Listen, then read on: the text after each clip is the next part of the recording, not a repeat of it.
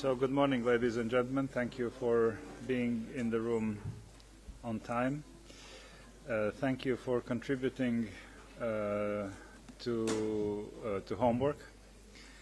Uh, I, I read uh, most of uh, most of contributions except those who were sent in right before before the meeting because of commute from the hotel to to UN uh, facilities here. And um, so what what what are my um, uh, conclusions? Uh, that most probably we will not be able to uh, finalize uh, completely uh, work on uh, theme, sub-themes, and um, topics for intersessional work fully. Uh, but we certainly need to strive uh, to complete as much as we can and maybe uh, attempt to adopt kind of working titles uh, for the moment, which would allow us to uh, proceed, and then um, and then work uh, online, uh, trying to reach uh, consensus or rough consensus uh, in the group and finalize the uh, uh, these topics uh, by the end of the year. Why it is so important? Because uh, once we are putting out call for proposals, uh, that should contain uh, information about teams, sub-themes, because one, one of the criteria of evaluation is how the um, uh, proposed workshop uh, uh, fits in the uh, sort of framework of the meeting and how it corresponds uh, or resonates uh, with uh, sub-theme.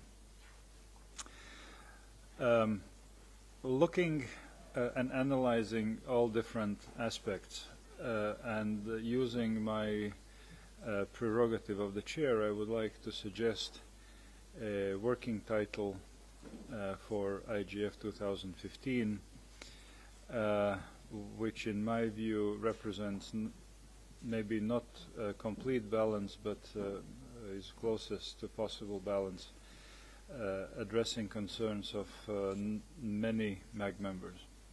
And that, that is uh, building trust trustworthy net for sustainable development. Uh, and then uh, we would need to uh, uh, uh, work on uh, sub-themes.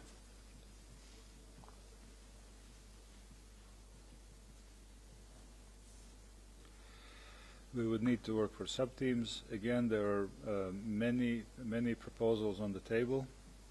My personal preference would be go simple and uh, uh, revive uh, four major sub-themes that have been used uh, in in the past.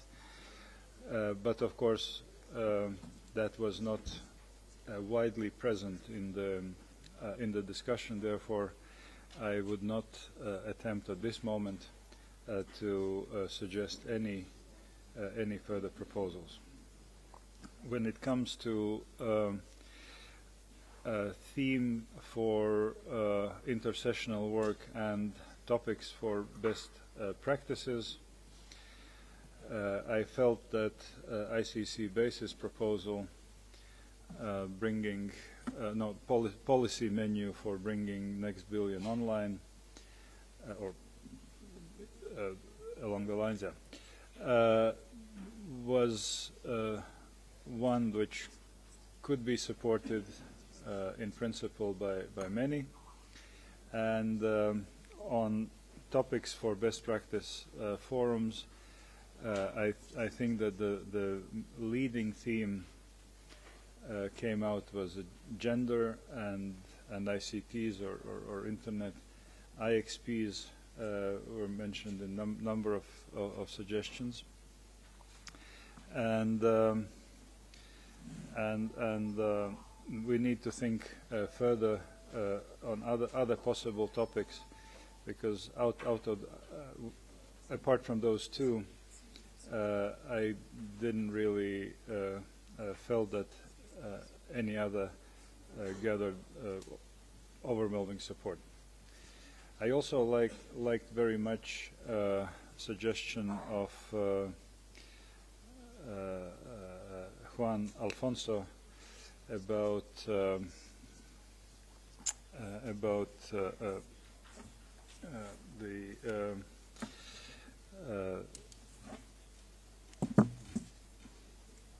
uh, shaping the evolution of internet, but I, I see that that maybe uh, could be introduced as a, a motto for IGF in general. Uh, I don't know whether that now it's time to uh, to add uh, that type of thing, but uh, please think think in those terms. Put, putting a motto for IGF, shape, shaping uh, shaping the evolution of the internet. Um, so th this is this is uh, sort of my uh, conclusion uh, from our yesterday's discussion and uh, evening's ex exchange, as well as uh, you uh, saw I did my part of the homework. I proposed the draft schedule for preparations, and um, so that uh, schedule of preparation stems from experience uh, as well as uh, sort of uh, uh, engineering of prep preparatory process taking into account all other uh, factors that may influence the, the process. So um, for I, I did a little write-up and as you see I'm not very very good in long writing explaining what what purpose or what aim of each of MAG meetings have, have been so far, and uh, uh, suggesting that uh, we should we should go for uh, this time for uh, three meetings because of the uh, bigger distance between IGF Istanbul and IGF um, Brazil. Uh, it is more than uh, 14, or it's 14 months, grosso modo, and uh, so not lose uh, kind of dynamic in the preparatory process. Uh, I think we, we need to go for three meetings this time. Uh, the first meeting, uh, I think the uh, tasks are very clear. Uh, for the next meeting in May, uh, we would need to do uh, a selection of uh, workshops uh, based on uh, uh, results of uh, call for proposals and pre-selection, which will be done by Secretariat based, again, on methodology and criteria. Uh, and uh, af after the May meeting, we would have more or less uh, um, sort of uh, architecture of the of the event. Uh, and then there would be fine-tuning and uh, negotiations with the uh, promoters of workshops uh, in order to fix uh, completely uh, the um, uh, the schedule.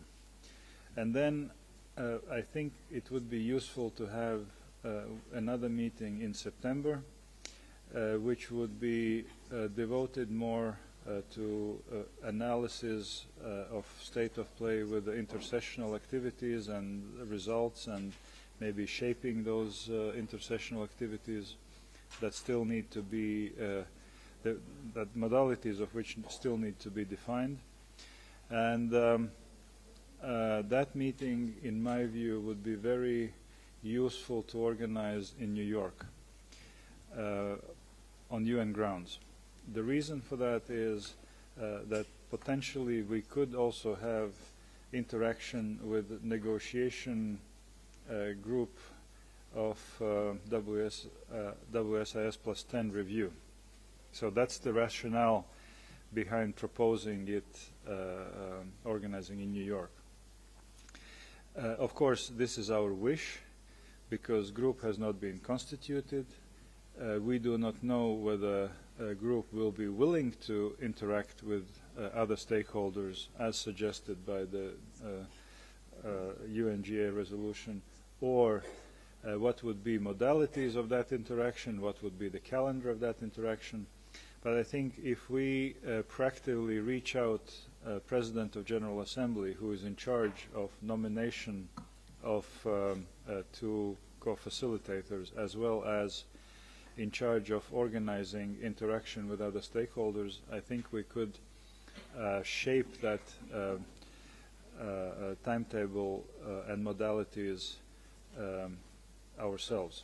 So therefore, uh, proposal is to have to have the meeting in New York, which provide opportunity to interact, as well as inviting those negotiators to Brazil in November and organizing not in the meeting of IGF itself, but uh, during the meeting uh, of IGF, on the margins of, of uh, meeting of IGF, uh, the consultations uh, on the, the outcome document of the December uh, WSIS plus 10 review.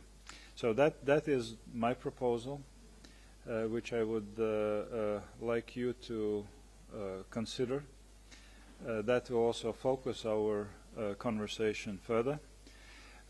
if, um, if you are in agreement, please let me know. If you are in uh, violent disagreement, please let me know either, because uh, uh, it would be very interesting to hear concerns. And I see Izumi Aizu is first who is seeking the floor. Af after that, Juan Alfonso and Marilyn and Avri and many others. uh, please, Izumi. Thank you and good morning uh, all. Um, as to your proposal of the main theme, I have some uh, question about the timing. As you proposed in the timetable that, and it will be ideal to come to the conclusion of theme and sub-theme at this morning uh, meeting on the one hand. On the other, we are starting very early, unlike the previous preparation. Now we are still December and that relates to the other question that um, there's some uh, proposal floating that we may have a meeting back to back with OECD in March in Paris, which is not written in your um, proposed timetable.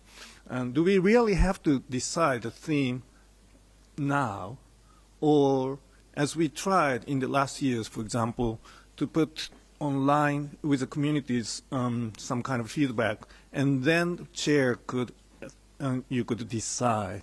Uh, th th that makes things much easier and widely accepted. I also have very strong problem with the word trustworthy. Uh, for some of you may know that it's been used by one commercial vendor for uh, trustworthy computing for many years. There's another initiative called Trustworthy Internet Movement by a particular um, set of organizations or people and there's trustworthy.net as a website. I don't mean if, if it's generally acceptable, fine. But again, I'd like to hear the community's voices before we uh, make the decision and then get some criticism. Thank you, Chair. So thank you very much. Um, answering immediately uh, about March meeting. So then, then it seems to me we would we would go for four meetings, and there are uh, considerable funding implications. Uh, and that is not OECD meeting, uh, but that is UNESCO meeting, and uh, uh more precisely, that meeting is in early March. It is on the 3rd uh, and 4th of March in Paris. Um, Juan Alfonso, please. Thank you, Chairman. I, I, in principle agree with all this process, but I want to speak a little bit about the intersessional and to view all this toward the Joao IGF as a coherent process. Uh, as I said before, and many also echo that, uh, next year is a very important year, and the IGF should have really impact maybe in terms of document, it doesn't need to be consensus document, you know, as it's, as it's written, could be with you, but it has to be real outcomes. So I believe that the best way is to have the intersessional uh, themes to be coherent with the theme of the, of, of the IGF. In this way, the intersessional could be sort of preparation of input material in order to advance the work and arrive to Joao Pessoa with a lot of ground covered already, even for the workshops to, to fine-tune in the end. And not only that, I will even advise that the this MAG could uh, recommend the regional IGF or even national IGF as a recommendation, of course, because they can do uh, what, what, they decide, but to recommend to focus on the same theme of, of, of the themes that we adopt for, for Joao Pessoa.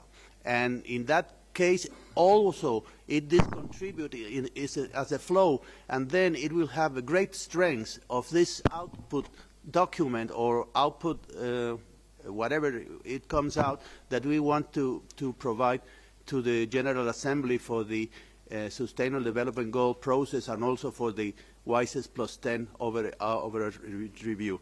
In this sense, uh, I understand that, in, that the IGF has been characterized by diversity of themes. And maybe this year we should try to make an exception and concentrate only on two or three themes that are really the concern of the global community, not only users but also the rest of the stakeholders. I think this is not a, a step against diversity. Maybe it's a tactical uh, step for this year in which uh, the sustainability of the IGF itself is at stake.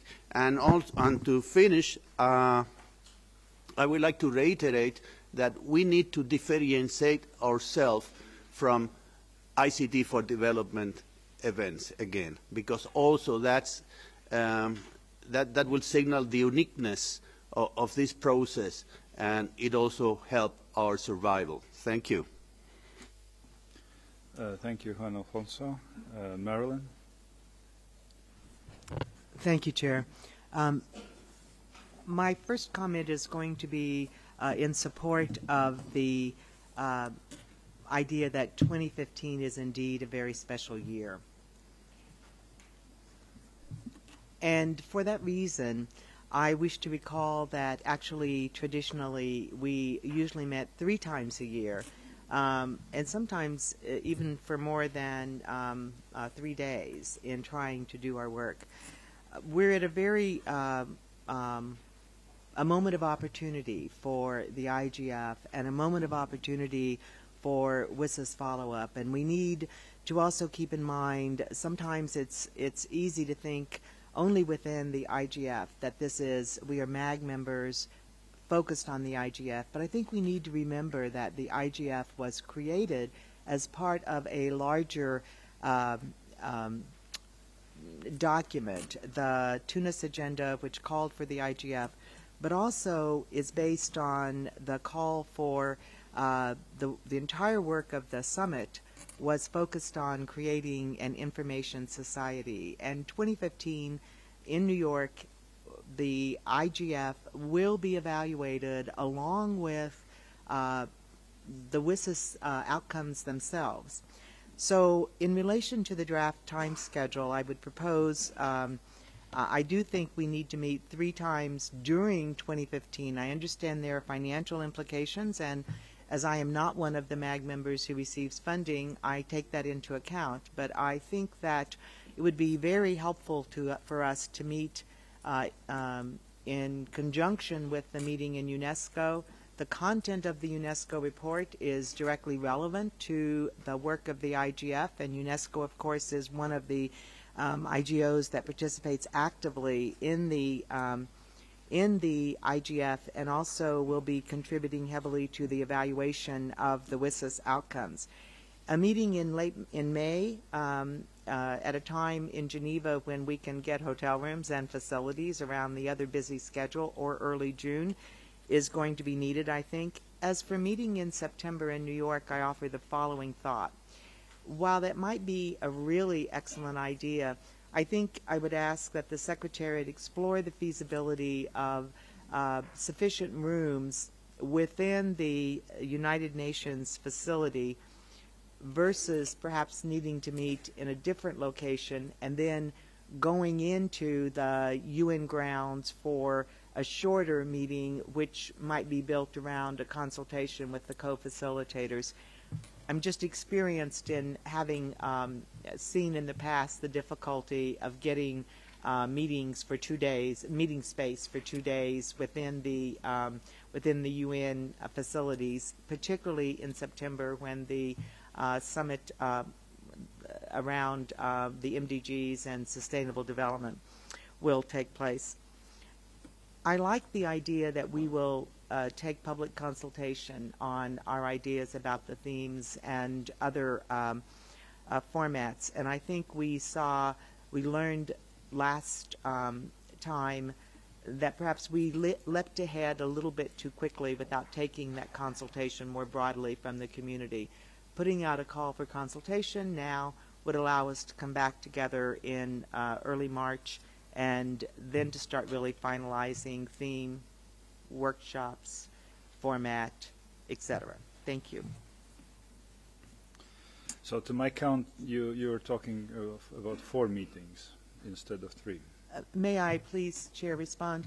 Uh, You're counting this meeting, and I'm counting three meetings in 2015. So, uh, yes. I, I always was told that, that uh, accounting is not a science, it's always an art. Uh, Avri, please. Thank you and good morning. Um, I want to, first of all, say a couple things. In terms of the theme, uh, the overarching theme, as you per, uh, suggested, I've always had difficulty understanding the internet as not being trustworthy, while some of the users perhaps weren't. So I, I, I hope that we can differentiate those things, but that's not what I put my flag up to speak about. I think it's going on one of the same themes that, that, that Marilyn spoke of and that we spoke of around the table this morning with our sort of uh, civil society uh, breakfast meeting. And that's that while we're going to suggest many themes today, that we not be the ones to decide on them until such time as, as we've had a chance to get a consultation. Now, what we've been recommending is that we do more than just our old-fashioned, please send in an email or, or a text, but actually use some of the crowdsourcing tools to basically get a wider polling of the themes that the IGF community people find interesting, and not only what they find interesting, but what they might be able to work on and interested in working on leading up to the yearly meeting. And finally, to get them to add any themes that, that we forgot to the list. Something that is less than, than essay writing and more something that many of, of, of the IGF community could take part in. You know, the suggestion we were making was that this be done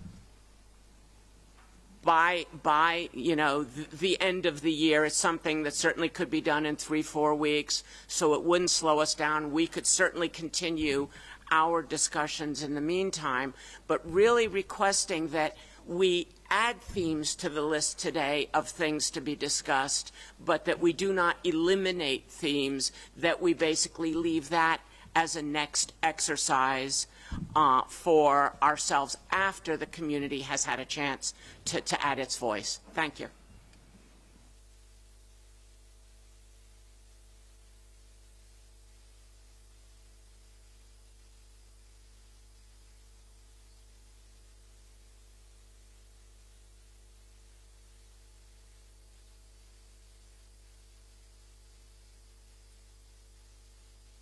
So now I'll take the remote participant.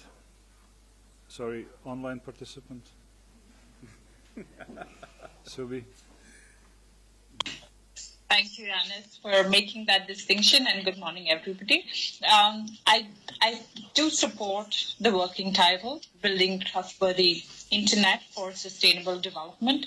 And there are many reasons for that, because uh, while we're discussing these issues, and I know that uh, there are corporations have this as part of their motto, as part of their tagline. But for a lot of us in developing countries, we like the internet to remain free and open, and this is a huge part of the conversation: erosion of digital trust, data localization, and data sovereignty.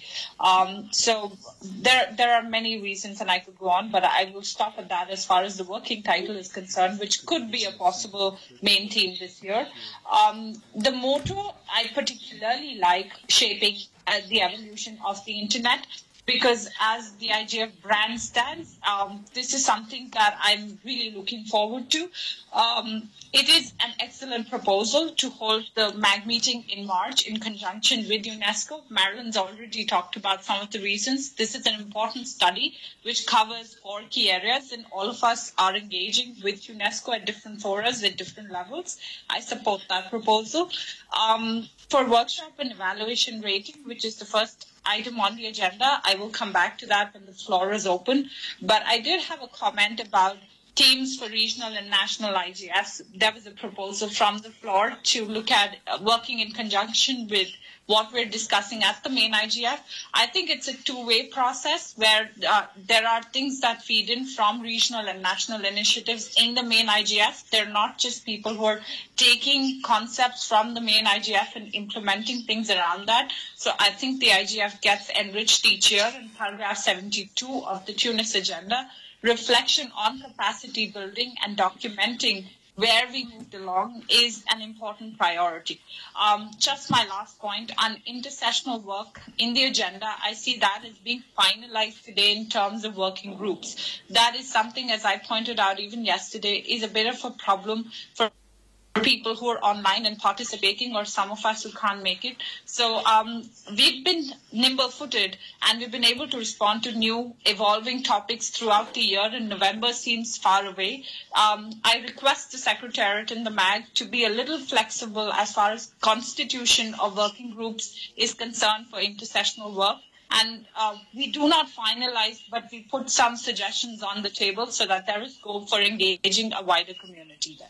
Um, but a framework and a parameter, some guidelines, um, that is the discussion that I'm looking forward to today. Thank you, Alice. So thank you, thank you very much, Subi. Uh, Virat, please.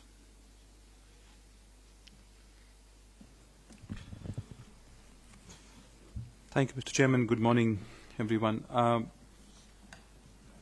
quick points. One, um, I think the earlier we decide the theme, the better it is. Um, last year we really rushed and said we don't have much time. Now we seem to have a couple of months more and we are saying, oh my God, we have lots of time. Um, I think it would be best to approach the issue of themes as early as possible. Now, if we want to go to crowdsourcing, um, that's not a bad idea, but the challenge of open consultation is that certain stakeholder groups can send in four, five, hundred responses, and certain others will send in maybe 10 or 15 at best. Um, that's just the nature of how people respond to online consultation and stakeholders do. Um, and in the end, it becomes a numbers game, uh, as you yourself sort of accumulated views this morning based on email uh, responses. And that's where it boils down to. So we have to be careful uh, in not letting this down to be a numbers game alone. Uh, and therefore, if we have to go for public consultation, we should ensure that we as the MAG at least agree to a set of parameters or principles that are indicated along with the consultation that must be uh, adhered to when responding to public consultation. Otherwise, we could be either in the same spot where we have 40 new responses or uh, a lot of responses coming from one stakeholder and the others kind of struggling to match the numbers. Um, so I would strongly recommend that we look at principles and parameters on how to decide uh, and, and convey that as a part of the public consultation so that um, there is an objective way to then select what comes through the consultation process. And it should not just be a sort of voting or a number game. Uh, second, I agree with the issue of moto. I think that's very well presented. We should certainly consider that. We haven't done it so far. Uh, this one fits, fits really well. Um, I also have a challenge with the word trust and trustworthy. I think we do a great disservice when we try and add those kind of words as prefaces to internet. I don't think the internet has to be trustworthy. I think people who are using it and stakeholders have to be trustworthy. So we should be careful not to add adjectives to internet because the internet really hasn't done anything uh, wrong to anybody uh, we, and we tend to kind of, uh, you know, focus on the internet. And, and, it's like, it's, we should be very careful how that adjective will be perceived if we put it just before internet So I would go back to the working title, um, uh, which was uh, suggested by our uh, British colleagues of uh, sustainable development. Um, on the issue of meetings, I would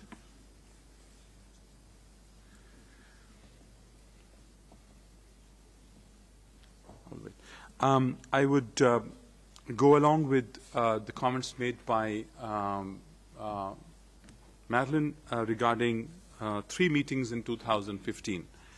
Um, if we were to get a theme out by the next 15, 20 days or whatever the process is, and not sure how long this consultation could take place, but if we had to go that route, and we should try and get some preliminary information in by March.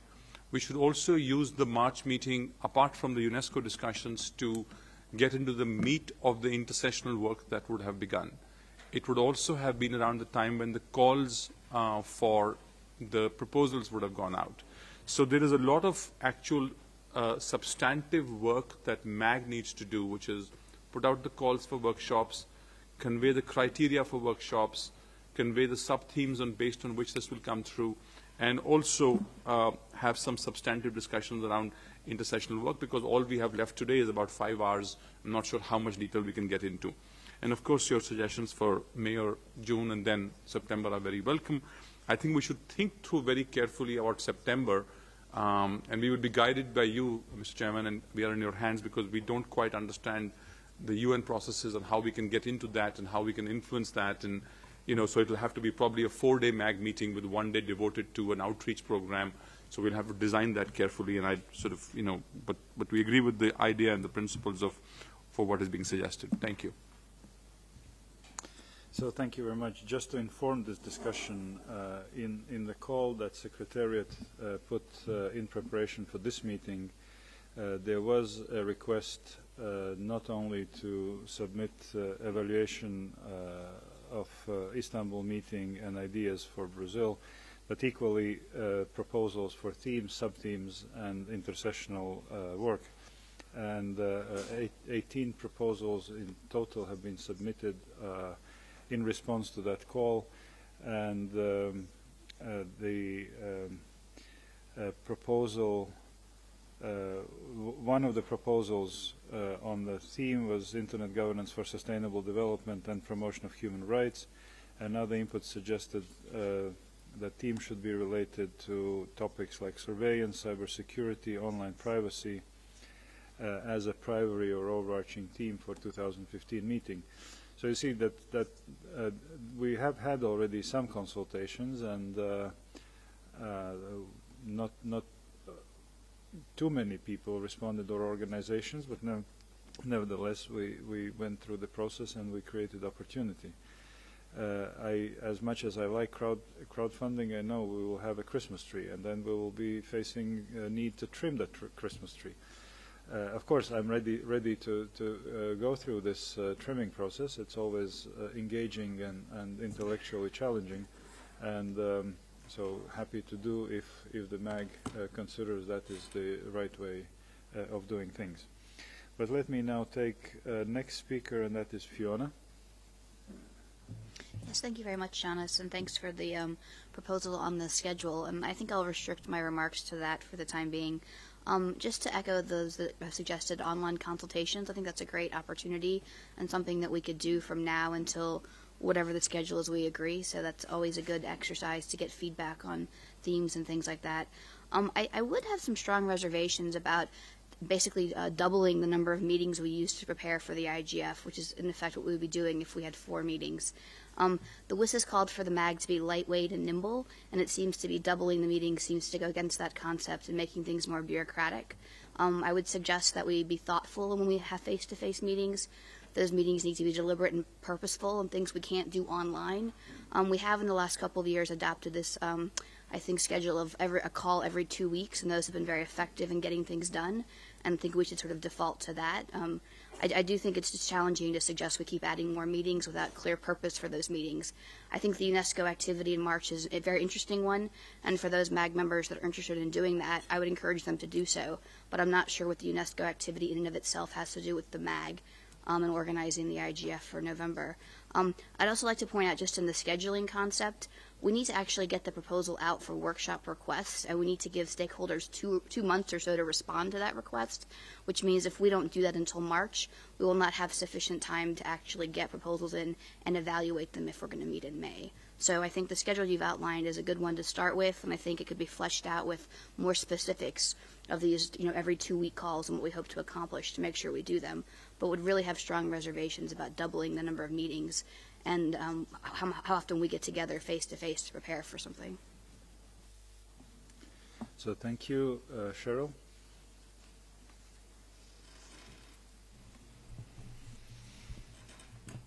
Thank you, Mr. Chair. Mr. Chair.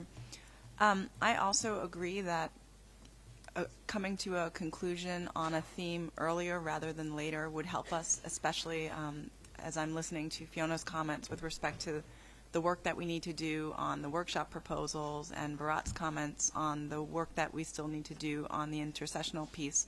We do have a lot of other things that we'll need to decide. I also think coming to a conclusion on a theme a bit earlier gives the community time to get excited about it. it it's almost a marketing piece for the IGF, and it gives us more time uh, to, to build around that.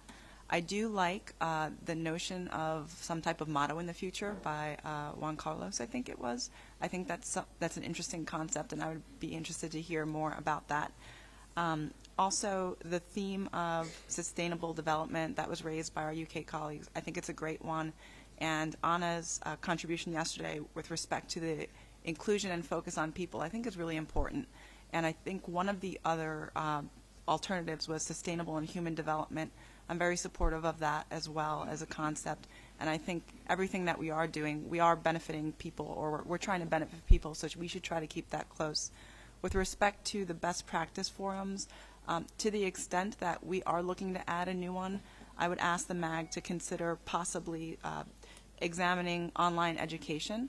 I think online education is an area that's seen a lot of growth over the past several years, um, and it has there is a lot of research out there on it now um, with respect to MOOCs, MOOCs, excuse me, massive open online courses.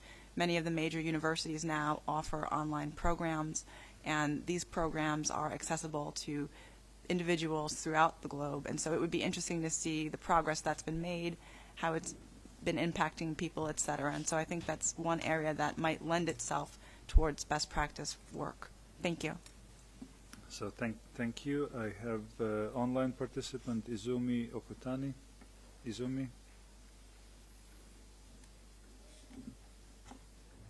Thank you, Chair. Uh, Izumi, in particular, would like to support Avri and Marilyn's suggestions about consulting the community through some wider uh, consultation. Um, we have other observers online who are not MAG members who have also shown their support for for this. And I personally, then, as I you'll see that I do have both cards up, um, would also like to show my support for that. If I may continue as myself now. Um, so speaking for myself, I, I do agree with the need to, or, or with the proposals by Avri and Marilyn. And while I understand the timing problems and the addition of, of meetings, I also strongly feel that we need to approach the strategy of panels and the, the attention we need to give to remote moderation, I'm sorry, online moderation, panel moderation, and panel strategy for proper interaction with online participation. So that we need a little bit of time there anyway because when the call for proposals goes out, I think that strategy and information should go out. So I don't think that we're losing anything by taking a little bit of time to attend both uh, situations, both the cons consulting the wider community on the proposals and preparing better guidelines for workshop criteria. Thank you. Oh, I'm sorry. Excuse me. Today is the uh, UN Day of persons with disabilities. So uh, I think if we wanted to just mention a little support for uh, the Dynamic Coalition for Persons with Disabilities and keep that in, in the back of our minds at least, um, that is a, a priority. And I thank the chair for the mention of gender as a possible uh, best practice. Thank you. So thank you. Uh, I have Mark, Sita, Constance, uh, Leah, uh, Dominique uh, have asked for the floor. Uh, that that is um, uh, Jivan.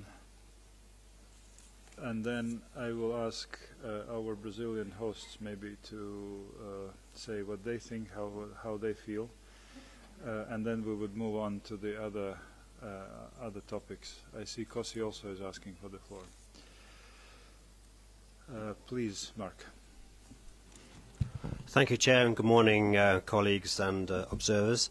Um, thank you very much, Chair, for your um, precision uh, in making proposals um, on with regard to themes and uh, the timetable for preparation for uh, the IGF next year. That's extremely helpful. Really appreciate that.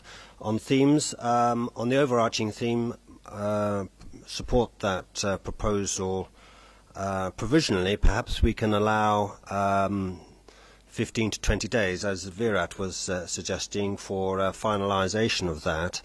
Uh, and likewise, uh, with regard to the themes, I think we should act quickly in order to go public early in the new year on themes, sub-themes, as well as the overarching theme. I think it's um, appropriate really that the MAG, uh, with its diverse and global membership, uh, to be tasked with finalising this rather than going to uh, crowdsourcing uh, route. Uh, I, I appreciate Avri's point, obviously, that uh, any opportunity to maximise engagement is good, but I think the MAG is properly empowered to do that task.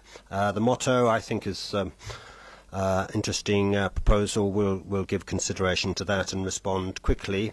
With regard to the timetables for preparation, uh, we would prefer to keep it to three meetings, in, including this one.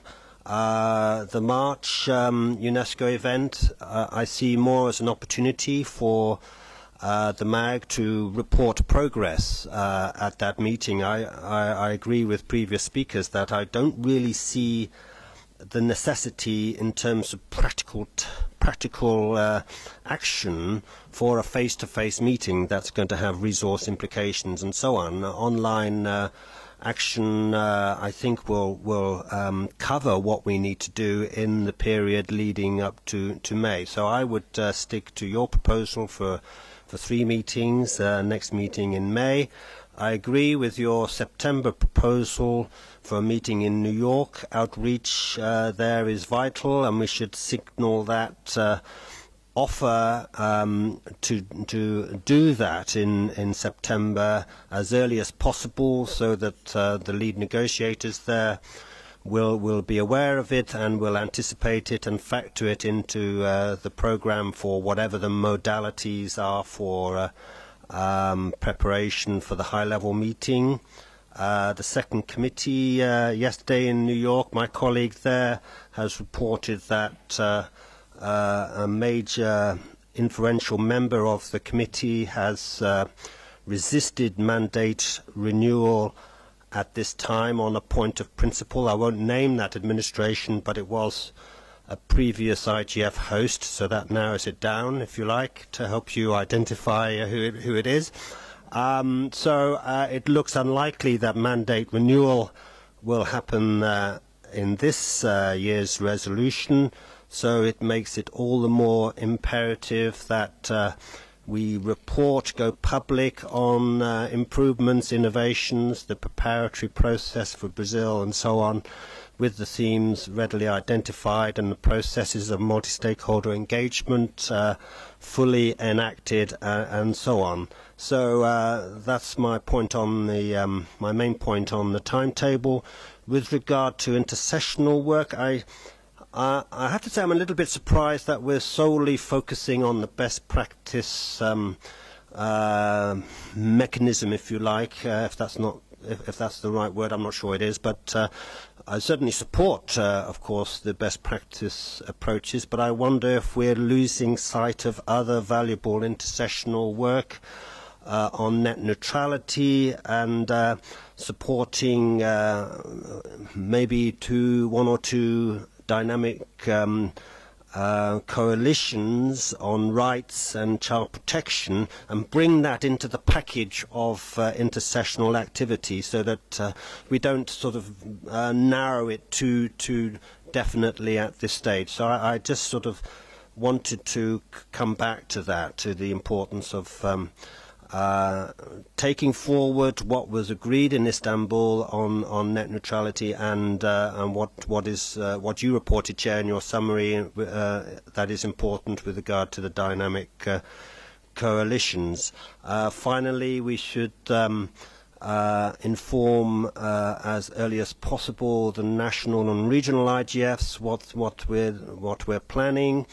Uh, and one other point with regard to their con potential contribution is that, uh, with go going back to best practices, uh, we should uh, communicate to them uh, a kind of request that they consider nominating uh, experts from their within their national and regional communities to contribute to these best practice forums. That I think is a valuable sort of line of a, a global uh, uh, communication for us to, to develop in terms of um, ensuring that uh, the uh, active participants are truly global and represent uh, stakeholder communities um, uh, from all uh, regions, developing countries, least developed, uh, and uh, uh, islands, uh, uh, and so on. So thank you. Uh, I hope those comments are helpful. Thank you.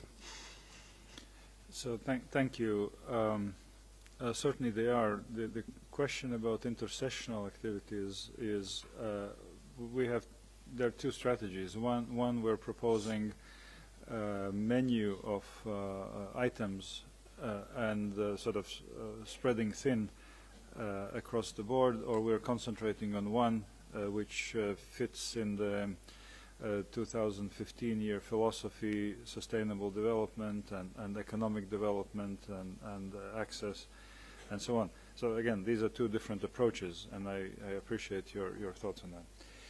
Uh, Sita, please. Thank you. Uh, I have two issues I want to table. The first one is the sub-theme. Um, I would like to suggest the continuation for discussion on the Internet as an engine for growth and development sub-theme, just like we had in Istanbul, but more into the business term, or using what Juan said regarding the Internet for economic development, especially on how it should be reflected in the business ecosystem between the global and national business entities. Uh, and the second is that the timetable for intersessional work, um, what we discussed on the table with several civil society organization representative, intersessional work in which I'm still digesting what the term is, we suggested that this work should be decided in the early 2015, considering that there will be a series of regional, such as the Asia Pacific or national IGF throughout the years. I would think that starting as early as possible would be good to exercise the intersessional work. But I don't know, perhaps you have another explanation on that, why you put it in September, Chair. Thank you. Uh, no, I mean, I mean, intersessional work would start immediately as soon as we're ready. Uh, if we're ready after this meeting tomorrow, we will we will launch it then. Uh, in September, we would review the progress and uh, contribute maybe to finalization, if possible. So that that is the idea. And cer certainly, the uh, every two week uh, phone calls of, of the MAG is. Uh, so we, I, I, I intend to continue with that practice because that was very useful uh, to progress activities and, and, and make decisions. Uh, Constance, please. ISOC. Thank you very much, and good morning, everyone. Um, on the overarching theme, I think I would echo some of the concerns about the word trustworthy. Uh, an alternative might be a trusted internet if we're uh, sticking to the idea of sustainable development, then it would be a trusted internet for sustainable development. Um, on the schedule, I would echo um, the points made by Fiona. I think it's uh, it's quite important. Um, and then, uh, in terms of intersessional work, um, the the idea put forward by ICC BASIS, I think, is a is an interesting proposal. Um, I, I, like very much this idea of having policy menus uh, building up to 2015. At the same time, I think we need to, to consolidate what we have already Uh, so my suggestion uh, would be that uh, perhaps we, we consider that the theme for intersessional work proposed by uh, ICC be the same theme as the overarching theme of, of the IGF, just to make sure we, we stay consistent uh, through our intersessional work and as we work towards outcomes for the, the final um, uh, IGF event in, um, in, in Brazil. Uh, in the same spirit, it seems to me that then the policy menus should probably be the same in terms of theme than the sub-themes we have for um, the, the IGF. And um, the best practices would be foundational pieces, I think, of those policy menus. Um, uh, and then in terms of how do we make this happen, um, if, if there's agreement um, and if we can find volunteers uh, among the MAG group, but perhaps also beyond the MAG group, um, I think it would be good to kickstart work uh, through some sort of working group uh, that would be working closely with, uh, with the Secretariat and uh, I've mentioned the need to have the Secretariat uh, lead the process for neutrality reasons as we as we develop outcomes, and I still think it's uh, it's very important. Um, so if we could have a working group, I think we, we would need to have someone from ICC, civil society, technical community, all the all the sensitivities uh, in that working group um, to to kickstart the intersessional work um, after after this meeting. And then with regards to the best practices, I hear your concern about uh, limited resources. If um, if the idea is to work in the framework of uh, five themes maximum, um, it seems to me that some of the current themes maybe need two or three extra months of work, but not 12 months. So maybe we could consider uh, finalizing some of the themes between now and the next MAG meeting, and then instead of adding simply one theme, we could add one, two, three, depending on where we are with, uh, with the old themes. Um, in this regard, in terms of, of new themes, I think IXPs is, is a good one. Uh, gender and ICT, I'm not an expert, but if, if there's support, um, why not?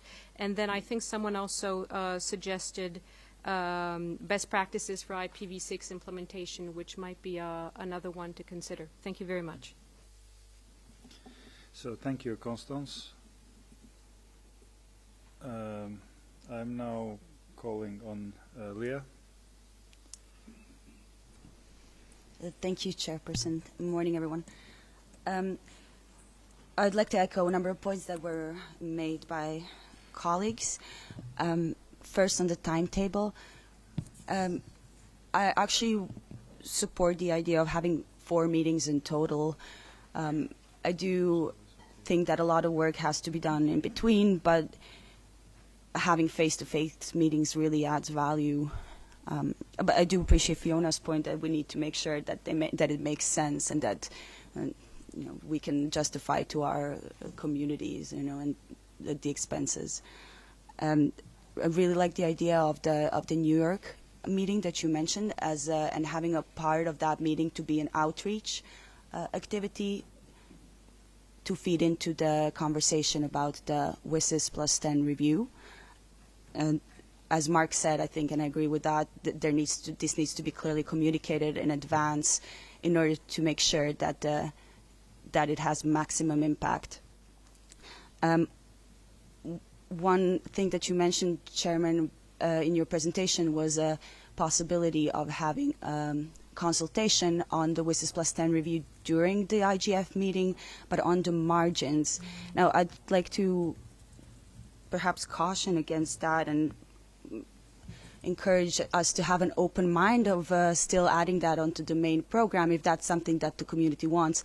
I'm afraid that if it will be a big issue next year and uh, as we'll be coming close to the December meeting in New York, there could be a clash between the, the main program and, the, and this discussion and I wouldn't want to see that happen, that people who are interested in that discussion can't attend if it's on the margins or clashing with the main program of the IGF. Um, I'd like to strongly support the um, suggestion made by Avri as supported by others in the room on public consultation on the themes. Uh, perhaps to, as it seems that there's a lot of support for this. Um, perhaps so a way forward would be to take the the themes that were suggested by various members overnight and yesterday and put that together with the suggestions that were made uh, in the submissions prior to the meeting, as you suggested, and put that out to the community to um, perhaps give them a draft of uh, proposals that could be uh, considered, um, but also leave room for additional proposals to make sure that uh, the views of the community are reflected.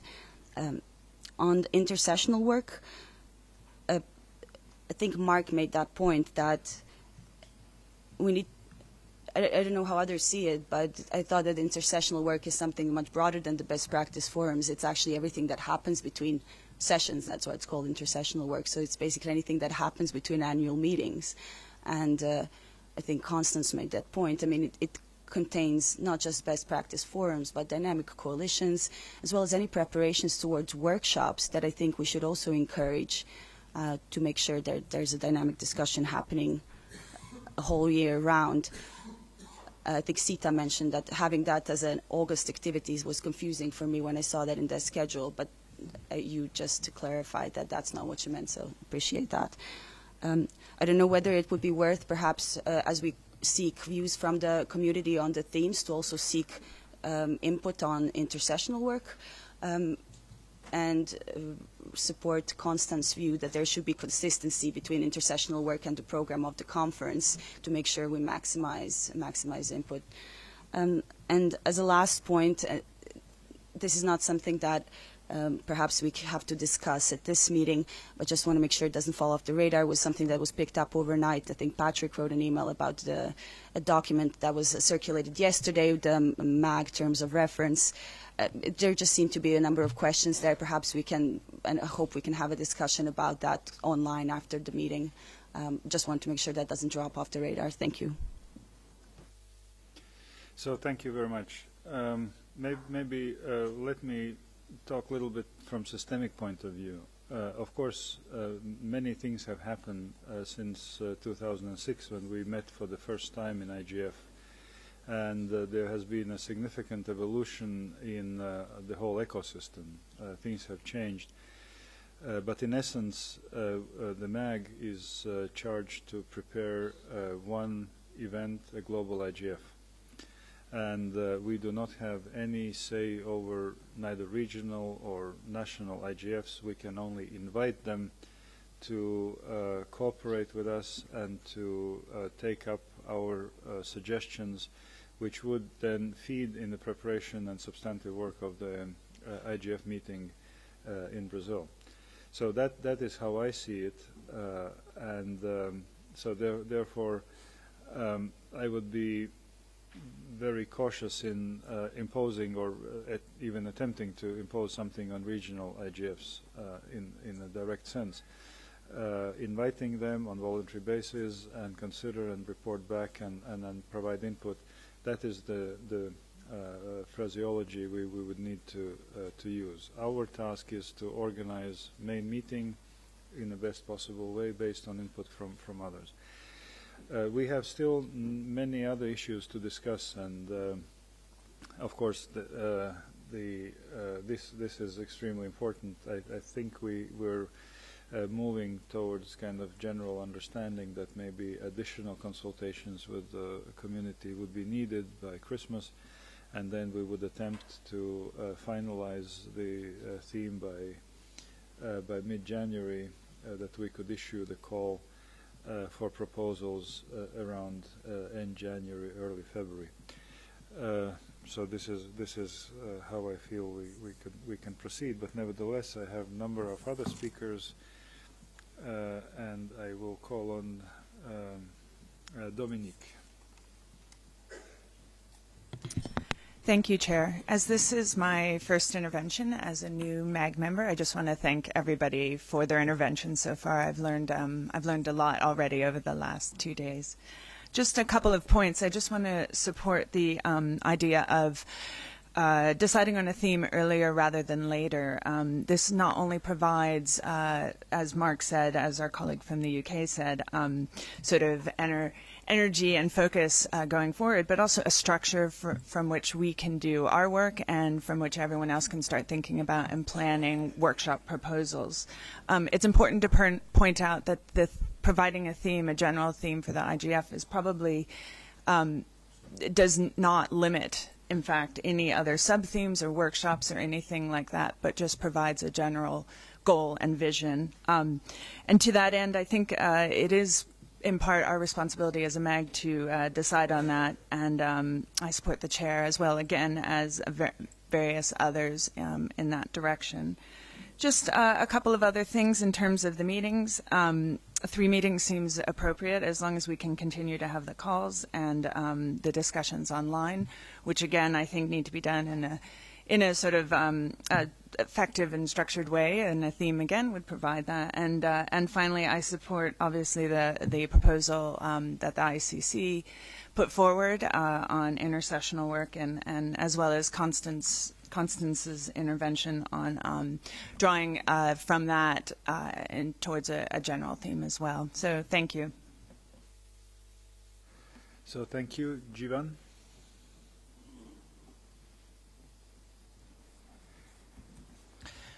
Yeah, I wanted to um, follow up and underline the few who have um, said that um, trust, tr trustworthy is not something that we should put uh, as an adjective for the internet, and perhaps Constance's uh, suggestion of going into trusted could do the job, but um, that is something that I don't think would do, uh, uh, describe the process well.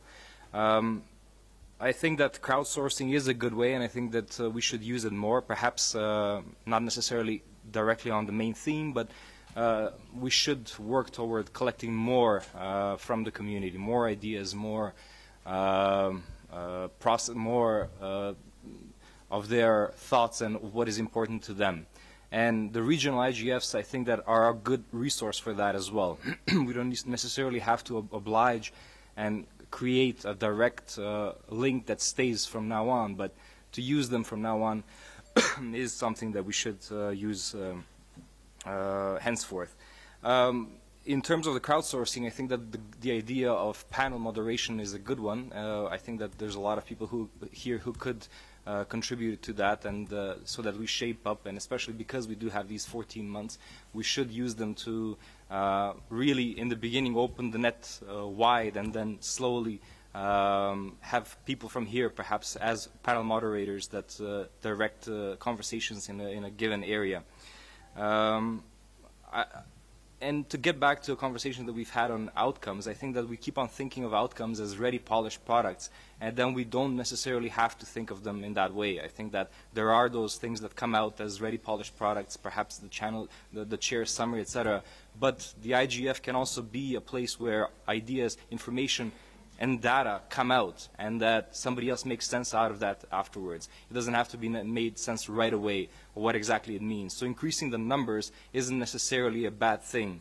Uh, uh increasing the number of, of, of, of, data, increasing the number of ideas, of information that uh, goes through the IGF in some form and thus through the MAG in some form is not necessarily a bad thing. Um, three meetings is more than enough, I think, uh, including this one, uh, and I think that the proposals of uh, May and September are uh, well thought out, and uh, the motto, the idea for a motto is also a good one, and I like it, uh, the way it's shaped. Cheers. So thank you, um, Kosi. Parole est à vous. Merci beaucoup, Président. Bonjour, Président. Bonjour à tous. Je m'excuse de revenir sur des éléments qui sont déjà passés. En fait, les sujets qu'on évoque, les propositions qu'on fait, tout est pertinent. Mais le plus important pour nous, c'est de voir comment est-ce que ces propositions s'intègrent à la volonté de notre communauté.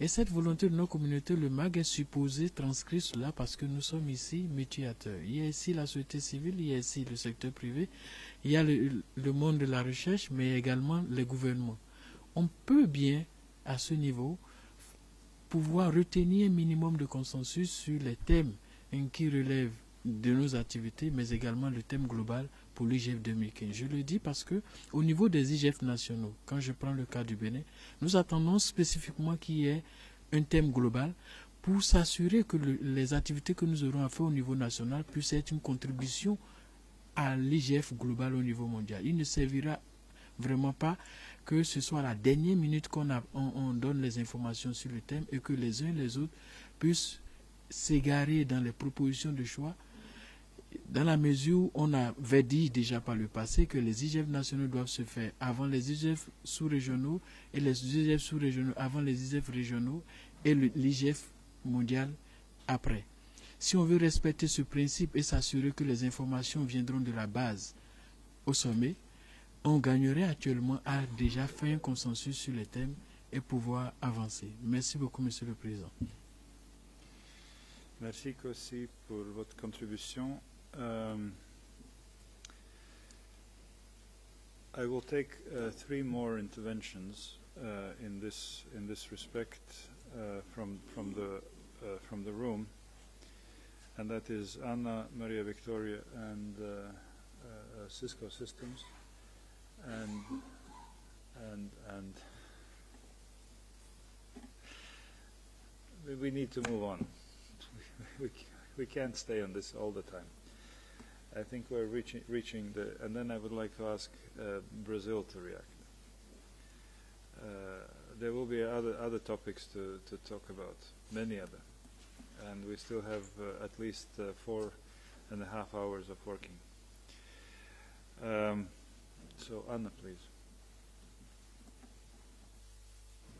Thank you very much, and, and good morning, everybody. Um, I just would like to say uh, a couple of things. I think that the overarching themes should be global, concise, and inclusive, and it should sound st strong and as a continuum uh, of what has been achieved so far, but at the same time, it should sound strong to the citizen.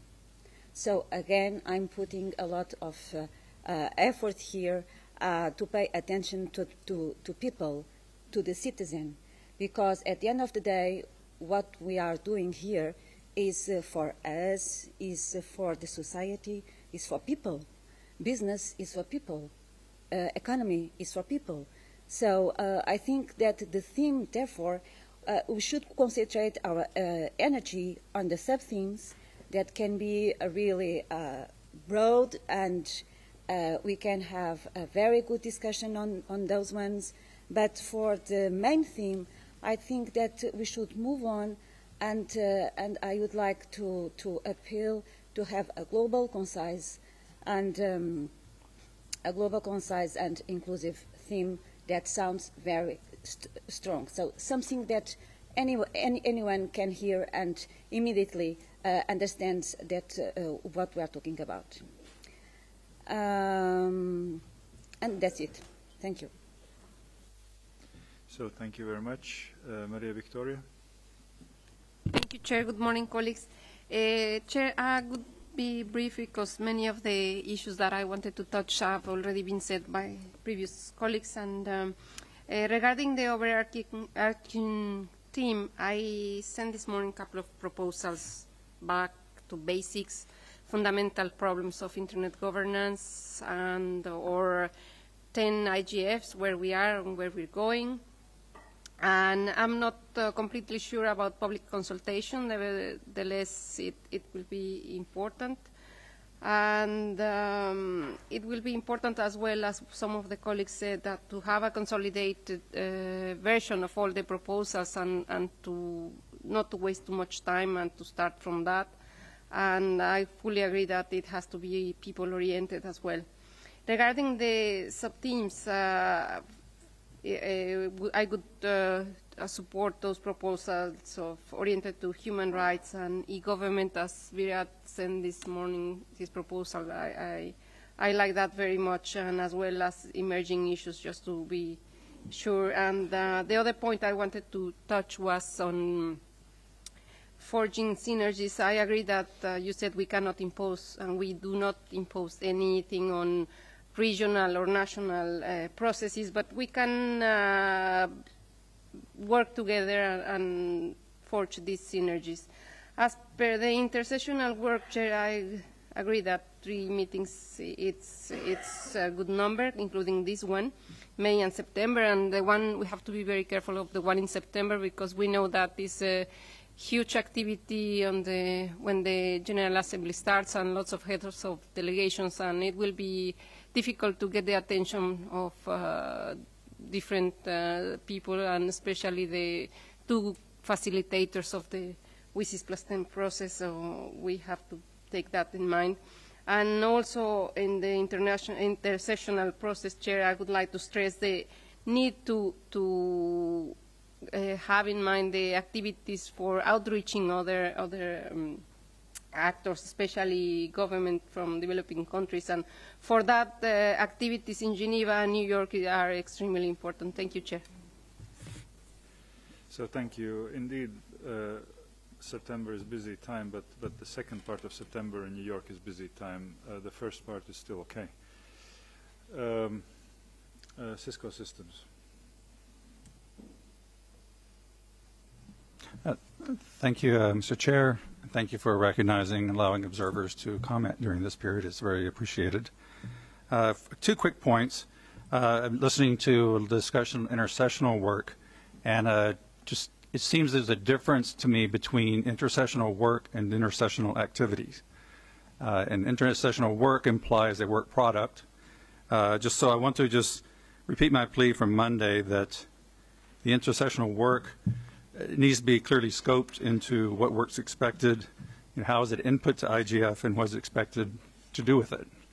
Uh, so that's the one, one point. The other one is uh, taking care on focusing on internet governance uh, and not slip into technical work. Uh, some of the proposals I've seen are very good, but they could easily slide into discussions of technical aspects and how to implement. And I think that would be, uh I think we need to focus on the internet governance aspects uh, and not resist the temptation to kind of get involved in, you know, discussing uh, implementation work. Thank you. So thank you. Lee, 30 seconds, please. Thank you, Mr. Chair. Um, just putting Lee Hibbard from the Council of Europe, but putting my EuroDIG hat on to say that um, I think it's a very good idea to engage the, the regional IGFs uh, where possible. Um, we have a planning meeting for the EuroDIG in Sofia in Bulgaria on the 27th of January. I think it'd be very important um, if you can, if the IGF MAG can give um, clear indications or requests of what you actually want us to convey to you. That's very, very important. And the second thing is that we, we already do a, a data collection of all proposals. We put them into a very transparent table. And, and, then we therefore cluster things according to what we received. So that's something we can share immediately. And I think it's very important that all this data collection is done in a transparent fashion so that the MAG can decide very clearly what comes from where and how things are resolved thereafter.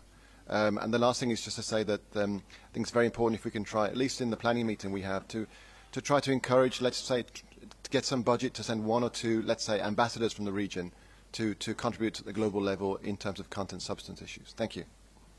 So thank you for this intervention and proposal. Uh, before going to Brazil uh, for kind of uh, uh maybe summing up and reaction, uh, I will invite online participant Subi to uh, say a few words, but please briefly. Janis, um, I, I still support the team that has been proposed, and I very strongly echo support for Avri's initial proposal for crowdsourcing inputs and going back to the public for consultation both on the sub-themes uh, with a tight deadline perhaps, as well as proposals for working groups and intersessional work. Um, before we go into the topic of main themes, and I will reserve my comments uh, for that section, I would want to put a proposal on the table for commemorating and marking uh, the decade-long journey of the IGF, either through a souvenir and also uh, augmenting the motto that's been suggested, shaping the evolution of the internet by prefacing that with 10 years of shaping the use and the evolution of the internet. Um, if you could consider printing badges or souvenirs and taking that message out, maybe augmenting also the IGF logo with the subtag, that is an important message that we can take away for, as we work towards the preparatory process. That'll be all for now. Thank you. So thank you. That is more for, for host country to do the the like, like uh, uh, uh, these uh, badges for, uh, for participants. Uh, please, Flavio, I understand you will be trying to express opinion and sentiments of the host country. Yeah, thank you, Janis. So, first regarding the, the main theme of the IGF 2015, uh, if we remember the, the, the final outcome of the NETmundial uh, event, uh, the statement identified many important issues that deserve attention from the community. Uh, and we fear that the proposed working title uh, is uh, maybe too narrow by concentrating on a, a, a subset of those relevant issues that we should face as a global community. And particularly, it may suggest that the IGF wants to concentrate on issues like security and massive monitoring. And remember, please, that Brazil was strongly involved with promoting a discussion on these issues, uh, even with a uh, speech of the Brazilian president at the United Nations General Assembly last year uh, regarding exactly security and massive monitoring. So people could think this theme has been proposed by Brazil and uh, to have a focus on these issues during IGF 2015. So this could uh, give a very misleading message to the community. So we would like us to reinforce our suggestion to build a bridge between the NETmundial outcome, which is much broader and inclusive, and IGF. So the roadmap established by the NETmundial Declaration proposes uh, further discussions on several themes that are extremely relevant for the evolution of the Internet governance ecosystem. And remember, the declaration firmly proposes the strengthening of the IGF, suggesting that it is the most adequate forum to address, in a multi-stakeholder setting, all those issues that are not covered uh, adequately by existing entities or processes.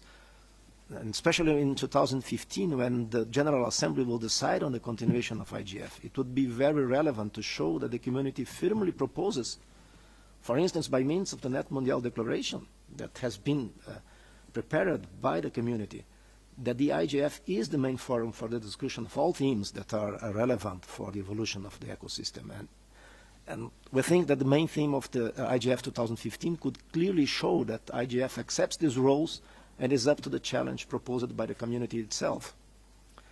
And we think that the proposed theme also creates the required bridge between the evolution of the uh, Internet governance ecosystem and the sustainable development goals of the United Nations. So IGF 2015 could explicitly discuss through its workshops, main sessions, and so on, how advancing the ecosystem and following on the path of the NETmundial recommendations, we can help society and government to, to meet these goals. So this is regarding the, the, the main theme. Regarding the sub-themes, uh, we would like to see a small number of, uh, sub-themes so that we can organize the three or four main sessions uh, uh, that are focused on them and that bring together the contributions and results from, from the many workshops and, and dynamic coalitions and best practice forums and so on. So we would, like, would not like to see a too, too large number of sub-themes. Finally, regarding the timetable for the preparation process, we would like to have as much opportunities as possible to discuss face-to-face -face in the MAG and to have open consultation with the community before we take our final decisions regarding the program. So we know that maybe due to budgetary problems, it's uh, difficult to, to have uh, the meeting in March, but uh, let's uh, have this opportunity still open uh, until uh, we can take a final decision on that. So thank you. Um,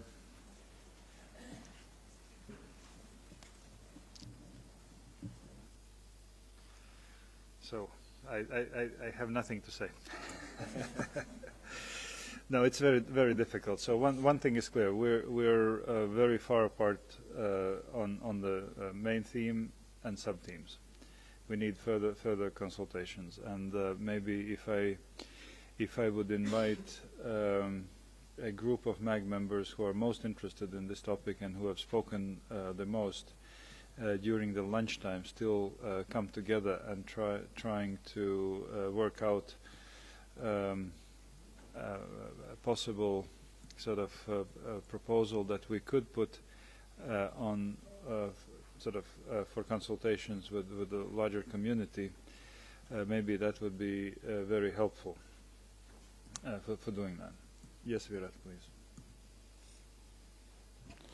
Mr. Chairman, I just want to uh, place one time consideration for the for the for the MAG to remember. Just as we talk about two-hour main sessions and you know all the workshops reporting into that, and then there's a time issue because it's 120 minutes. This is an unusual year. A typical year is seven months of preparation. We have one meeting in February and one in May. If we go with the process of consulting and crowdsourcing for the first time in IGF's history, which is a very good idea on paper, here is the challenge you have. You'll put out the call for consultation in February every year. You will get responses for intersessional work and theme in March. You will finalize that the earliest in April. When you meet in May, you would not have been able to put out the call for workshops, and you would not have begun the work on intersessional work. So the May meeting would actually become meaningless every year, unless MAG is planning to meet every year three times starting December of 2015 and so on. We have a, this 14 month is an unusual exception. We have seven months to plan. So when we talk about crowd, and, and that is the reason why MAGs, many MAGs before us have made this decision and then left it open to the community to contribute workshops based on a range of sub-themes. That's the process of sub-themes. But please think again. You, by May, you would only have finalized the themes, and intersessional work would have got you, at best, three or four months of work, which is the same as best practice last year. So as we, as we put these proposals out, let's keep in mind we will not have 14 months each year. Thank you. Actually, now we have only 11, um, if my math is right. But no, uh, with with the, I, I, I do not want to change the uh, timetable. Um, as maybe not in not in details, but in principle. Uh, I, I think the latest we would need to get out call for uh, proposals is uh, end of January by end of January, we need to have a theme and sub-themes identified and agreed upon. Uh, today we're too much far apart, and this is uh, there is no convergence in this room at the moment. Maybe during the lunchtime, uh, the most interested uh, uh, members could come together and to uh, work out ki kind of solution or proposal which we then would call a working title. And we would put it uh, for the for the consultations uh, with community uh, to to seek their feedback. Uh, and then uh, through the online meeting, through the conference call, we would take a decision uh, on the theme and sub-theme sometime in in mid-January that we can propose a can issue a call for proposals at the end of January. So then uh, we would uh, suggest two months uh, for proponents of workshops to uh, give uh, sort of to formulate their their um, uh, proposals and submit to the secretariat. And then we would have another two months for MAG members, for Secretariat first do a pre-screening, and then for MAG members do evaluation. And uh, with that, we would come to the May meeting, May or June meeting, uh, where we would do selection process, as we did uh, uh every year. After that, uh, Secretariat would contact uh, all proponents doing necessary adjustments, mergers, fine-tuning, and, and this nitty-gritty work to get schedule uh, agreed and published uh, more or less by uh, end of July. So, uh, and then that would be for, for the, for the preparation for the meeting itself. Then, of course, comes intersessional intersessional activities and best practices. Um, we now we know that uh, seven weeks for best practices is not, is not enough. It would be good to uh, engage uh, and start working on best practice compilations as early as possible. So here I, I, I hear we have three themes maybe uh, which could could be uh, suggested, gender and, and internet and gender, uh, the uh, IXPs and IPv4, IPv6, uh, at, at, least then. And then we need to see what two other themes would be. Either a continuation of two out of five that we had now to finalize them completely, and present outcomes to the next meeting. Or my preference would be uh, to uh, have an, another two additional themes uh, to, to make the library of compilations larger than, than we have. Also with understanding that these are living documents and, and every time we, we have a, something new, interesting that has been proven working, we add to the, uh, to the, to the mix.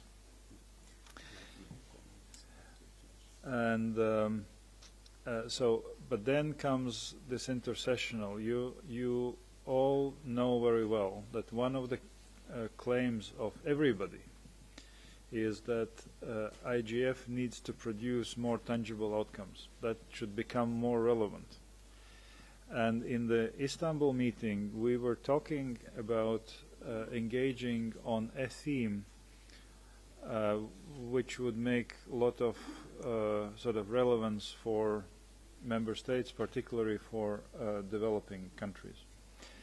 And uh, it was suggested in the chair's statement or chair's report that this theme might be uh, of um, sort of non-controversial with, with a developmental angle and ICC BASIS has produced the, uh, the proposal which suggests that this theme could be uh, policy menu uh, for next billion online.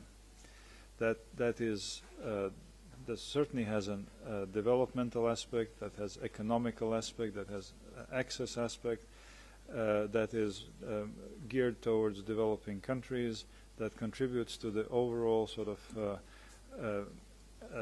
strategic theme of 2015 that is sustainable development and so on. I mean, we can we can justify that particular um, uh, topic.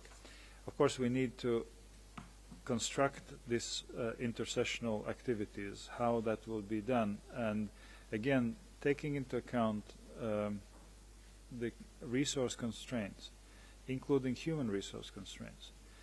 Uh, we we need heavily rely on regional and national IGFs, hoping that they would take up that topic and they would uh, provide input after discussing that topic in, the, in, their, in their events.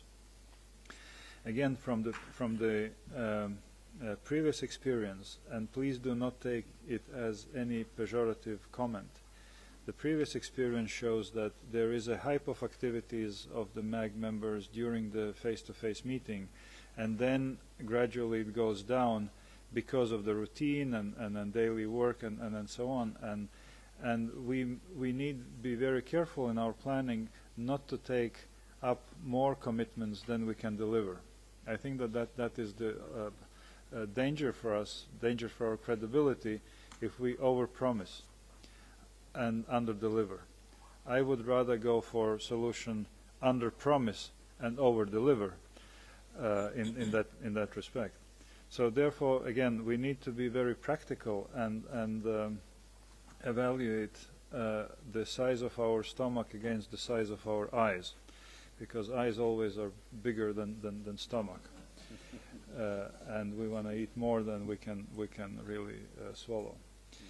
Um, so th these, are, these are my reflections, and uh, I would like now to see if there is uh, somebody who could volunteer to uh, during the lunchtime to anim animate that discussion. Would you like to do that?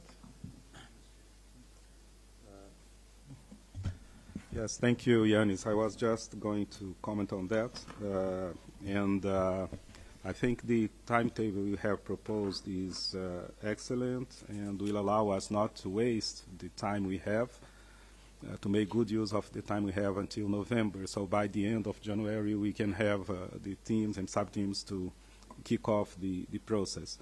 So uh, since we, uh, at the end of this morning session, we will have only three hours left in the afternoon, what I'd like to suggest, and I haven't even discussed with my delegation, is that if those interested uh, parties could maybe meet outside the room or here by 2 p.m., uh, of course, we can even meet during the lunchtime in the smaller setting, but if those who can make it by 2, we'll be more than happy to to try to, to have some more, uh, some further discussion on this. Of course, I, think, I don't think this will preempt the consultations that will follow online after the meeting, but maybe it will help us to get out of the meeting with some more uh, clarity and, and some more understanding on the, the various options before us. So we'll be more than happy to, to try to assist in this uh, if we can rely on colleagues who can come by 2 p.m. And of course, then the uh, as you have said, uh, Janis, uh, uh, will have to, to wait our uh, eating necessities will be limiting the time for uh, satisfying the stomach, but I think the discussions will be uh, will benefit from this. Thank you. So thank you, Mark. But very quickly, please. Yes, thank you. Thank you, Chair. Uh, Mark Over, UK Government. Just to very briefly, just to underline that um, in similar fashion to EuroDIG, the European Dialogue Internet Governance, the European Regional IGF, which Lee reported on in terms of process for picking up the direction from the MAG, the UK IGF committee is meeting next week. There may be other national and regional IGFs which likewise are sort of hanging on for decisions here. So just to underline that and uh, you know, in terms of ensuring effective reaction, commitment, contribution to the intersessional activity, this work that we are doing has to ensure agility, fleet-footedness, and uh, ex ex uh, expediency in, in securing the contributions to make intersessional activity meaningful, substantial, and work. So you need to ensure that the window for engagement with the wide diversity of national and regional IGFs and their processes of consultation and, and, and uh, executive management is, is, is there for the MAG to, uh, to secure um, effective um, um, solutions to, to intersessional modalities. Thank you. So thank you, uh, Constance. Thank you very much. Um, I, I, I, said uh, I, I, think that the, um, the policy menus was uh, a, a, good idea to kickstart the intersessional work. It's still unclear to me, however, uh, why we need a separate theme for the intersessional work um, because um, it's experience shows that uh, the difficulty within the IGF context is really to consolidate the work we have. And um, I'm a little concerned that we might um, create another track that would not consolidate with what we're trying to do with regards to the preparation of the event itself.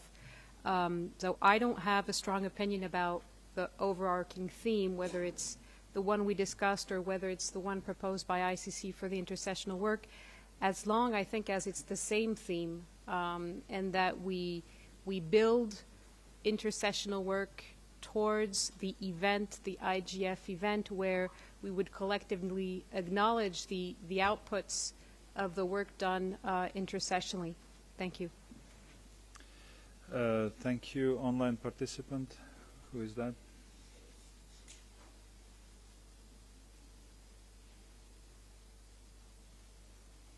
Subi has asked for the floor, and there is also a concern about the possible online per, uh, participation during the lunch meeting. Perhaps we can ask Adrian to arrange WebEx at 2 o'clock here in the room, or we'll, I'll check with you later.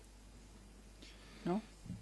Okay, these are technical, at, at any rate, that modalities. is, that is a concern, yeah. and then the uh, card is for Subi. Thank you. Subi, please. Janis, uh, if we could re-emphasize the point that was made earlier in the day to differentiate between intersessional work and intersessional activity. One of the concerns has been the IGF and the perception that we uh, organize an annual meeting. And when we look at your proposal from this morning, there is a very clear plan that has been outlined that communicates to the community and to the MAG members that we will be engaging in work throughout the year towards the preparatory process. Uh, however, um, there are best practice fora and uh, two or three new working groups that we're suggesting. Um, I would like to reiterate that we have more such working groups, but we also continue to disseminate actively the information that the IGF MAG will be doing while we're on the road to Brazil. Um, and I just had another suggestion for an intersessional work team, uh, enhancing youth participation at the Global Internet Governance Dialogue. If I could just leave it on the floor for reflection and consideration. Thank you for now. So thank, thank you, Subi. Christina from Egypt. Thank you, Chair. Um, maybe I'm coming in um, um, with the hat of the Arab IGF here, and I um, would like to welcome uh, the proposal of, um, uh, of the policy uh, menu and of engaging with national and regionals intersessionally. Uh, but I think we need to take into account that some of the national and regional IGFs only meet later into the year. And um, and likewise, uh, we need to encourage them to work intersessionally, probably also um, um, uh, through mailing lists and online. And I, I would suggest uh, to issue like an invitation as early as possible for them uh, with clear uh, ideas of uh, topics that we would like to see in um, uh, the policy menu or directions. Um, and I also think um, I would like to uh, echo maybe uh, Lee and Mark's comments that uh, enough uh, time and a, and, a, and a larger window should be given uh, to them. Uh, that is, if we uh, want to allow for enough time for them to, you know, uh, channel in uh, uh, their input. Uh, one last question. I think it could be also good to have more info on uh, how is the input coming from the nationals and regionals going to be channeled in. Uh, so how, how, how is that going to happen? Thank you.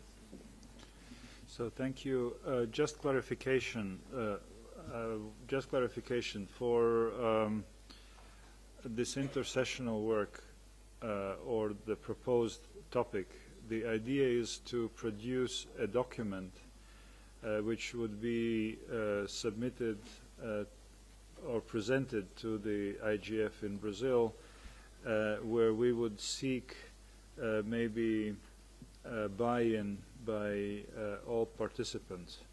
And that would respond to, to those who request more tangible outputs from, from, the, from the meeting. The same applies for uh, compilation of best practices that would be also submitted to the um, uh, uh, IGF, maybe without explicit request for uh, endorsement. But th this is a difference between this one uh, substantive issue that we would try to work through uh, intersessionally and bring some kind of document. And again, I do not know what kind of document and I don't know how we will call the document. That will be the the, the people working on on on that um, uh, that would suggest whether that will be principles or that would be recommendations or that will be takeaways. We don't know yet, uh, but but that's that's the difference. We will try to uh, get buy-in by everybody to that to that document, and therefore the team proposed, I think, is very opportune because it is non-controversial, that is development-oriented, that, that speaks about access, and as we know today, the biggest access is in developing world. I mean, there are all these elements which are very favorable to, uh, and speaking in favor of that particular uh, theme. And since we're not talking about policy recommendations, but we're talking about policy menu, that means that there is uh, there might be a policy that has worked in one type of countries there is another type of policy working in other type of countries and so on. So there also there will not be controversy in terms of negotiations which policy is better than others. Simply there will be uh, sampling of, of uh, policies and, and and so on. So from that perspective I think uh, this is a very uh, good proposal coming out from ICC Avri, please. Thank you. Uh, I have one question which is more looking for clarification. I don't really understand what a policy menu is. It seems that other people do have a much clearer understanding because they're supporting it. And, and I, I was asked by someone off list, could I explain it? And I went, uh, no. So, so perhaps I would like, in terms of the intersessional work, I like the idea of being able to come out with at least one output.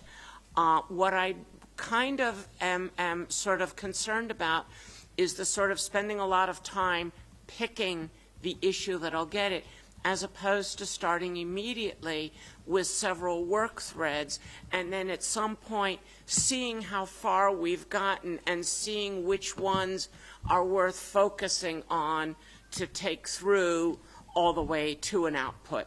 So uh, perhaps it's just a slightly different modality of as opposed to deciding which theme, start working on several, perhaps, and, and see which are ready at some designated intersessional document date. Uh, and I'd like to put that in there for consideration. Thanks. Thank you, Avri. I, I think I, I, answered your question uh, right before you asked it. Uh, what is the policy menu? I said that, that this is a menu. When you go to the restaurant, you get a menu. You get uh, starters, you get a main dish, you get a dessert. So, and depending on your situation, meaning how hungry you are, how, in what mood you are, would you like to have a fish or, or, or meat, you pick up your menu. So the same thing here. We, we, we are talking about uh, preparation of, of policy menus that has helped uh, different governments, uh, different countries rather than governments, to bring uh, internet at the level as they are. And uh, uh, those who are interested in bringing, I mean, improving the, the state of their internet and improving access and improving sort of use, they go to that menu and said, okay, my country is very similar to that one, and they succeeded in this way. Oh, these are very good ideas and, and, and, and so on. Since we're not talking about negotiations, if we would say uh, uh, a policy for next million, uh, for next billion online, so that would imply, okay, there is a one policy, let's negotiate which is the best one. Certainly we would not get anywhere with, with that. But uh, bringing different types of, of policies on the table and, and uh, uh, sort of explaining them in, in a way that everybody understands, I, I think that this, this is what I understand is a policy menu. Uh, uh, Juan Alfonso. Thank you, Chairman. I think I'm being a little bit reiterative here, but how I see this that is that the intersessional has to have the same themes as the main session how I see it, if I was the one planning this, like a chess game, you know I'm a chess player. In a chess game, you first have to uh, plan what you want to do. What are you aiming? You're aiming for a win, you're aiming for a draw, and then you select your opening, then how do you transfer to the middle game, and then to an end game that hopefully will be to your advantage. Here we have to plan similarly through this year. And I, I will suggest to first select the theme or sub-themes of the event, and then to organize all the work regarding there, and to engage in whatever way possible all the process in between. And regarding the intersessional, is to propose to produce a paper. You were asking what kind of paper. It's an issue paper, an issue paper that could help the discussion on the IGF. The IGF is a very good place for a wide discussion, but it needs to be organized in order to have tangible results. Let me put you an example, just an example. I, I don't want to preempt the theme, but suppose that we select the theme of economy. Economy has many sub-themes or many things like that. For instance, this walled garden a variety now of access that is offering for the internet. You, we could put in the issue paper uh, for discussion in the IGF how do you feel of this walled garden uh, uh, uh, access to the internet? Do you consider this a, this is a good evolution of the internet because we're talking about the evolution of the internet and, and like that? Other, how do, do we finance social interest websites in developing countries where we don't have uh, advertising industry to finance a free access website? How do finance that? Another thing, uh, should you think that the revenue of selling the words of our languages should we pass around to the rest of the internet community? Those would be issues that you should be in an issue paper. Regarding, for instance, cybersecurity, there are many things also. Privacy, you, you could put questions regarding privacy. So I suggest that that's the output of the intersessional issue paper in preparation. That is a common uh, thing in, in many uh, uh, events in the, in the world, that expert or somebody prepares the issue papers that to frame uh, the discussion. Uh, but I think that we need to have coherence with the intersessional and the themes. If you are very keen of this menu, I, I don't really like that uh, menu thing, but if that's everybody likes the menu for the intersessional, then make the menu the theme for the for the IGF in 2015. But we need to have the same both places. We cannot spread ourselves thin, and then we, as you said, try to do more things that we can really do. So thank you, uh, Jivan. Thank you. I'm personally somebody who prefers to get together with friends and have dinner uh, at home and somebody else's home. And before that, we all go perhaps to the market and pick our groceries, each of us, and then make dinner. One person makes a salad, another person. So I'm, I'm usually a person who likes these kind, this kind of approach, not necessarily to go to a restaurant with a uh, with a fi fixed uh, menu. But um, I understand the, the logic behind the menu as well. Now, uh, intersessions may be a good way to address calls for better outcomes. Um, perhaps, but it's not necessary to frame it so much now. I think that we, we have to allow for other priorities to crop up. And I see a line clearly uh, uh, connecting the intersessional uh, discussion and concept and policy menu. Uh, that's clear by now, the third day. Um, but I think that we should keep our minds open and what kinds of outcomes can uh, come up out of the IGF and the MAG in particular. Thanks. So thank you. I, I think we're now getting in, in rounds already. Uh, let me let me then ask uh, Benedicto to convene uh, informal sort of consultations uh, at two o'clock here uh, in in the room, but not going beyond three, because then we will start our our session. Um, for those who are interested, please uh, come and join this, this discussion. Uh, ideally, we, we would uh, have uh, a suggestion for a theme and sub-themes. Uh, as a result, please use also uh, one hour from one to two in the groups to discuss these, these things. and um, I will ask you to report back at the beginning of the, of the meeting, but without entering any more in, in, the, in the further discussions. So um, let me uh, let me also uh, uh, say that please think about uh, the uh, intersessional work in terms of working groups. We have yesterday we have identified that there would be one working group on sort of self-evaluation, adding information to the report which was done by similar working group in 2013, preparing input for the CSTD um, meeting in May. Then uh, we think about who would be interested in uh, joining working group on intersessional work modality definition because we need to have somebody who is sort of proposing and, and uh, uh, animating that, that part of work. Also, who would be willing to coordinate um, the uh, best practice best practice tracks uh, the question is whether we do one uh, working group for all on, or uh, a number of working groups depending on the on the titles. I mean number number of topics we're addressing. Uh, and now I would like to move uh, to the uh, agenda item related to workshop workshop selection criteria and mechanisms. You, yes, Mark. Thank you, Chair. Uh, sorry to interject at this point. I just wanted to know when you're proposing to consider um, interaction with the NETmundial initiative. Is that on the agenda for today? Uh, I thought Yeah, we were going to do that at at, some point. Thank you. Depend, depending how, how coherently we will we will um, uh, proceed and how much time uh, other items will take, but that that should be uh, we should discuss it uh, at the end of the of the meeting for sure. The online participant.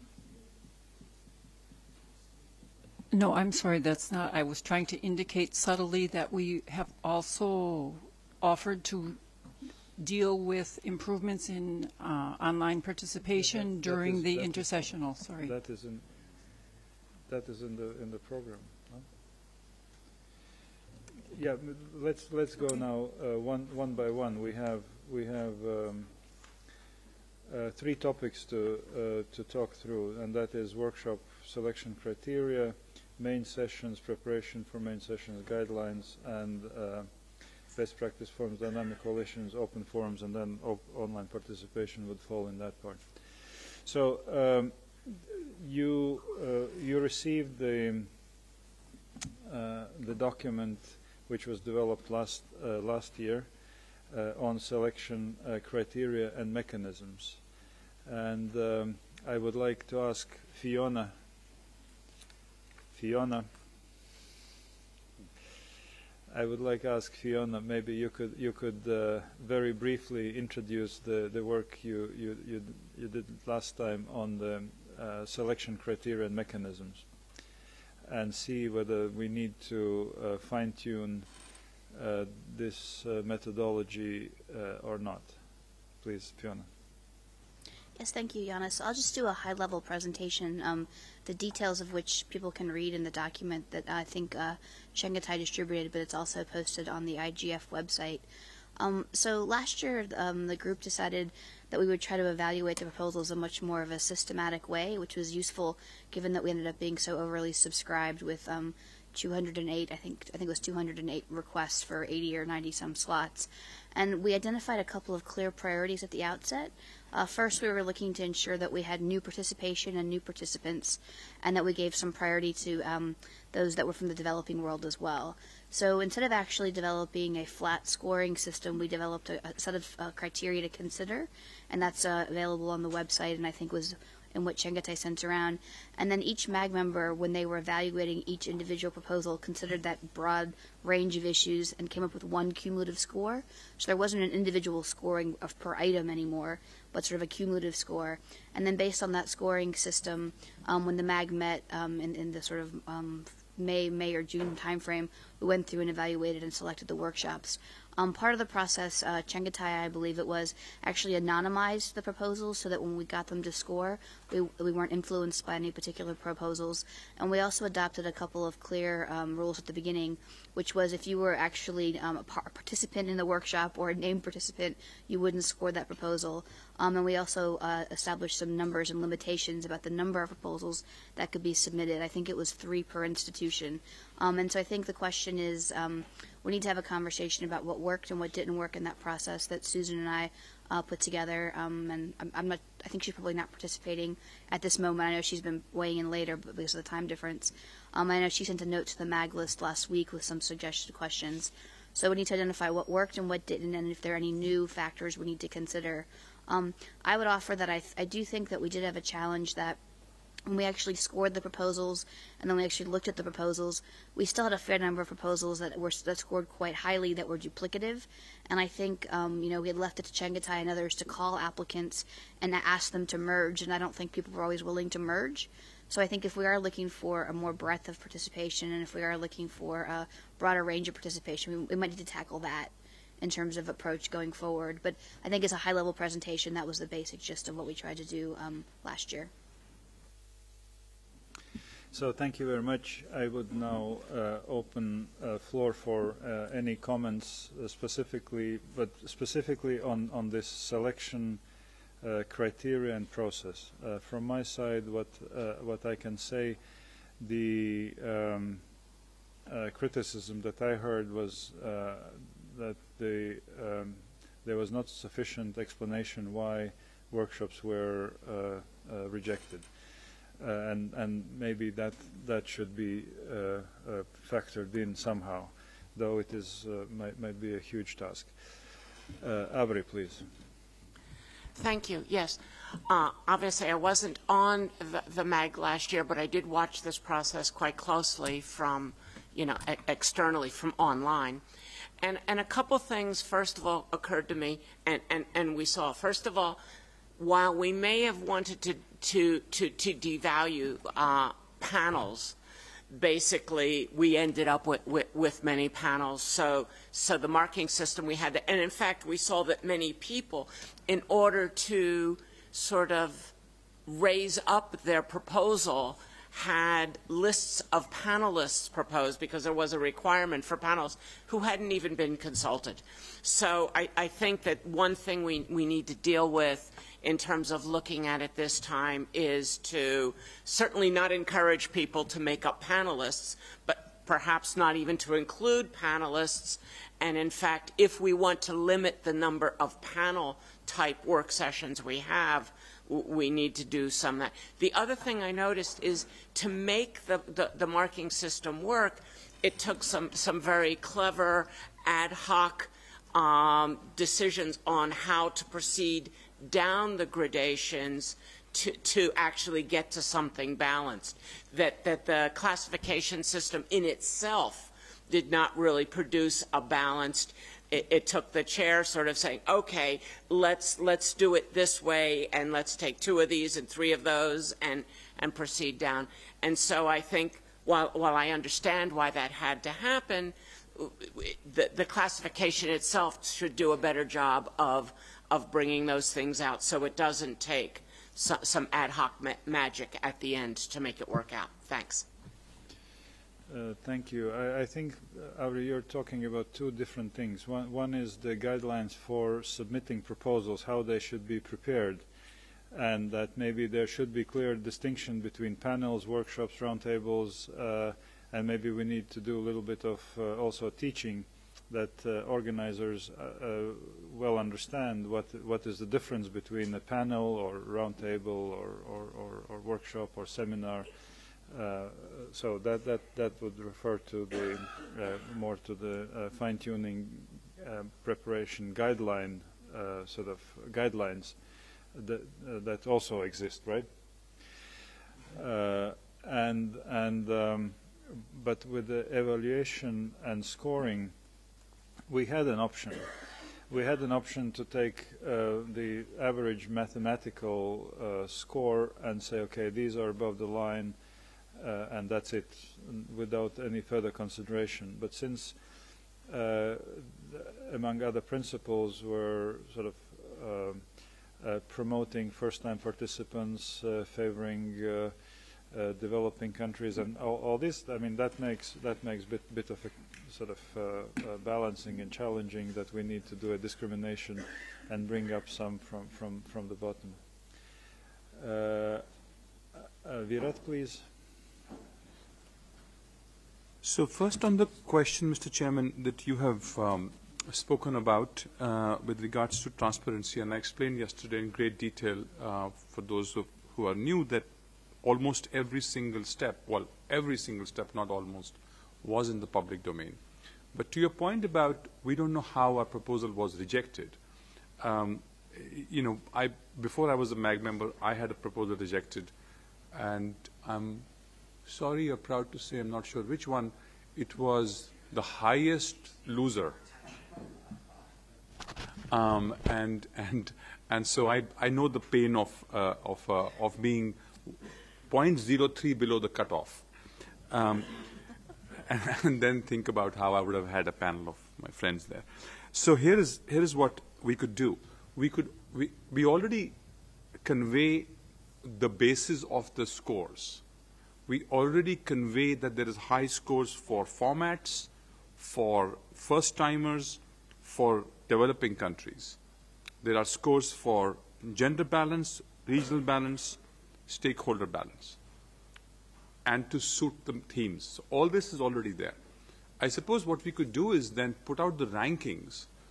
I'm not sure if the Secretary does that, but we could just put out the ranking of all the 208 proposals because the average cutoff mark is determined by the total that go in, which is last time was 90, and I think the average cutoff was 4.43 or something like that, and that's how the cutoff is determined.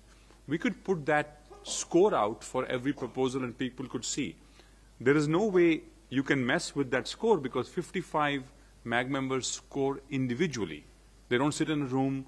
By the time they arrive for the May meetings, the scores are already compiled based on individual submissions of MAG members. So there is no scope of getting together and rejecting or accepting a proposal. Then we bring about 110 proposals for discussion. And there are some which are scoring just below the line but are sort of moved up. And I just wanted to, I think if there is a question about why are we rejected, we could put out those scores based on the criteria that is already established. And I think Fiona just made a whole presentation of how that's done, if that helps. On the panel issue that Avri has raised in the past about you know having it more, um, I think we will have to then. I'm not sure we can ban panels, but we'll have to look at a way where we will have to convey that only 20 out of the 80 proposals that will make it will be panels. So if you're looking for panels, you're going to compete with the only 20 that will make it. So we can probably just put add-on points there, and then the MAG will have to decide how to reduce the number of panels. Because last year, as I had mentioned to you, out of the 208 proposals that we received, and when I started marking them, I had put zero marks for panel, and I had to give zero marks to everyone, because everyone had a panel. It's the easiest thing to do. Um, you put in a couple of big names, and you know that's how it goes in. So I suppose we'll have to then limit panels and convey that, that only 20% of all the workshops will be panels. Again, I think the host country must let us know whether they can provide eight of the 10 rooms as roundtables, because if that's the format that we want, then I hope the rooms can be sort of set up in that order. We shouldn't go into a theater-style seating with a panel. And the last part, which is actually a pain for everybody every year, is mergers. And here is the difficulty with mergers, and I request the MAG to give ideas, because at least we have failed to do this. When we request a successful proposal to merge with a proposal that was very close to the borderline, and I was one when I wasn't on the MAG, as I said, the winning proposal or the, or the proposal that made it, A doesn't have the incentive, and B doesn't have the ability to merge because they already have seven confirmed speakers or eight confirmed speakers. So they can't put 14 confirmed speakers now. And that's the challenge of merger. So we should either do away with the process of merger or somebody needs to come up with a better idea because two years in a row, we have not succeeded with, uh, you know, I mean, it's not, it's not a big success. Some people do, and then, and then there's a lot of complaints to the Secretariat and to the MAG members on why didn't we merge. So I just want to caution us on the panels and the merger. But I'm happy to suggest, from my point of view, that we can put the scores out so that everybody knows how they scored and actually in, finally the MAG only discusses 20 borderline proposals to bring them up or leave them down because there are 80 which make it clear on the based on the score. Thank you. So thank you very much. Maybe we need to describe that uh, mechanics that we take uh, that we take uh, sort of 50 or whatever, depending on on the num number of available slots and put them automatically based on scoring and then explain how we do the, the, the evaluation of the rest and how we discriminate and, and, uh, and why we do so. Uh, Fatima? Thanks, Mr. Chair. This is Fatima for the record. I have a question, and I'm sorry if I lost this. Uh, do we have the same rules done this year uh, where, uh, that say that MAG members cannot uh, present or submit a proposal of workshop and the organizational members can submit three proposals only.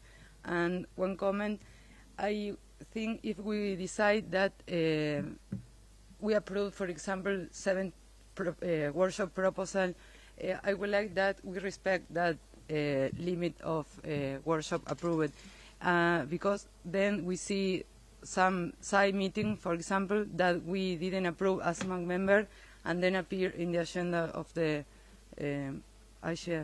And also I agree with the criteria that Fiona explained and that we work this year. Thank you.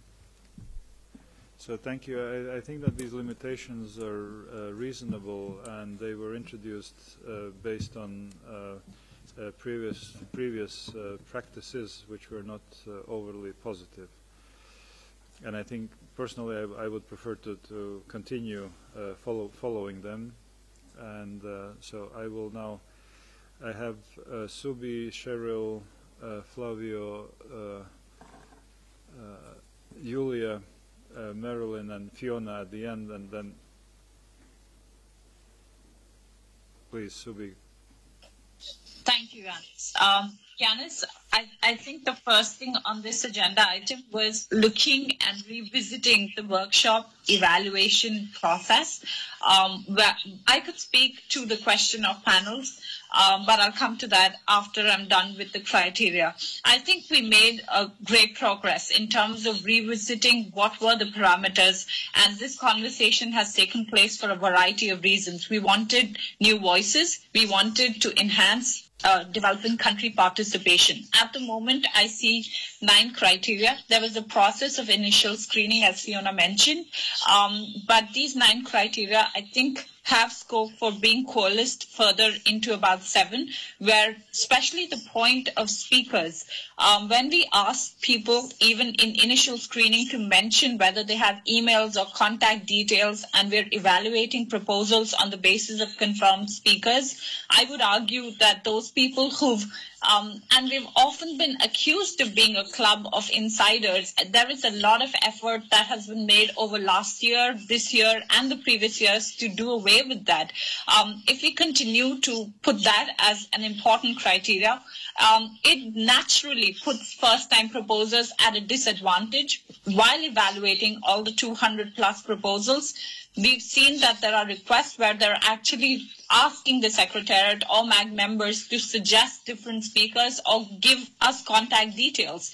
So uh, that is one strong proposal. They could mention their intent, they could mention some names, but that is not one point where they should be done away with at the entry level or the threshold. So that is one criteria I'd like to see revisited.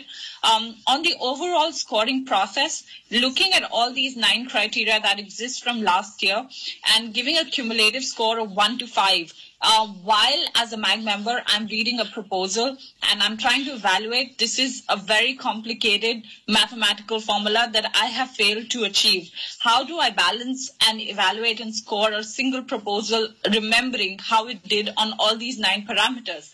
Um, before 2013, and these are excellent parameters, we did have a process where each of these criteria was scored individually on a Likert scale from zero to two, and then a cumulative score was arrived at. I prefer that process because I see that as more transparent and reflective of how a workshop proposal did on each of these criteria.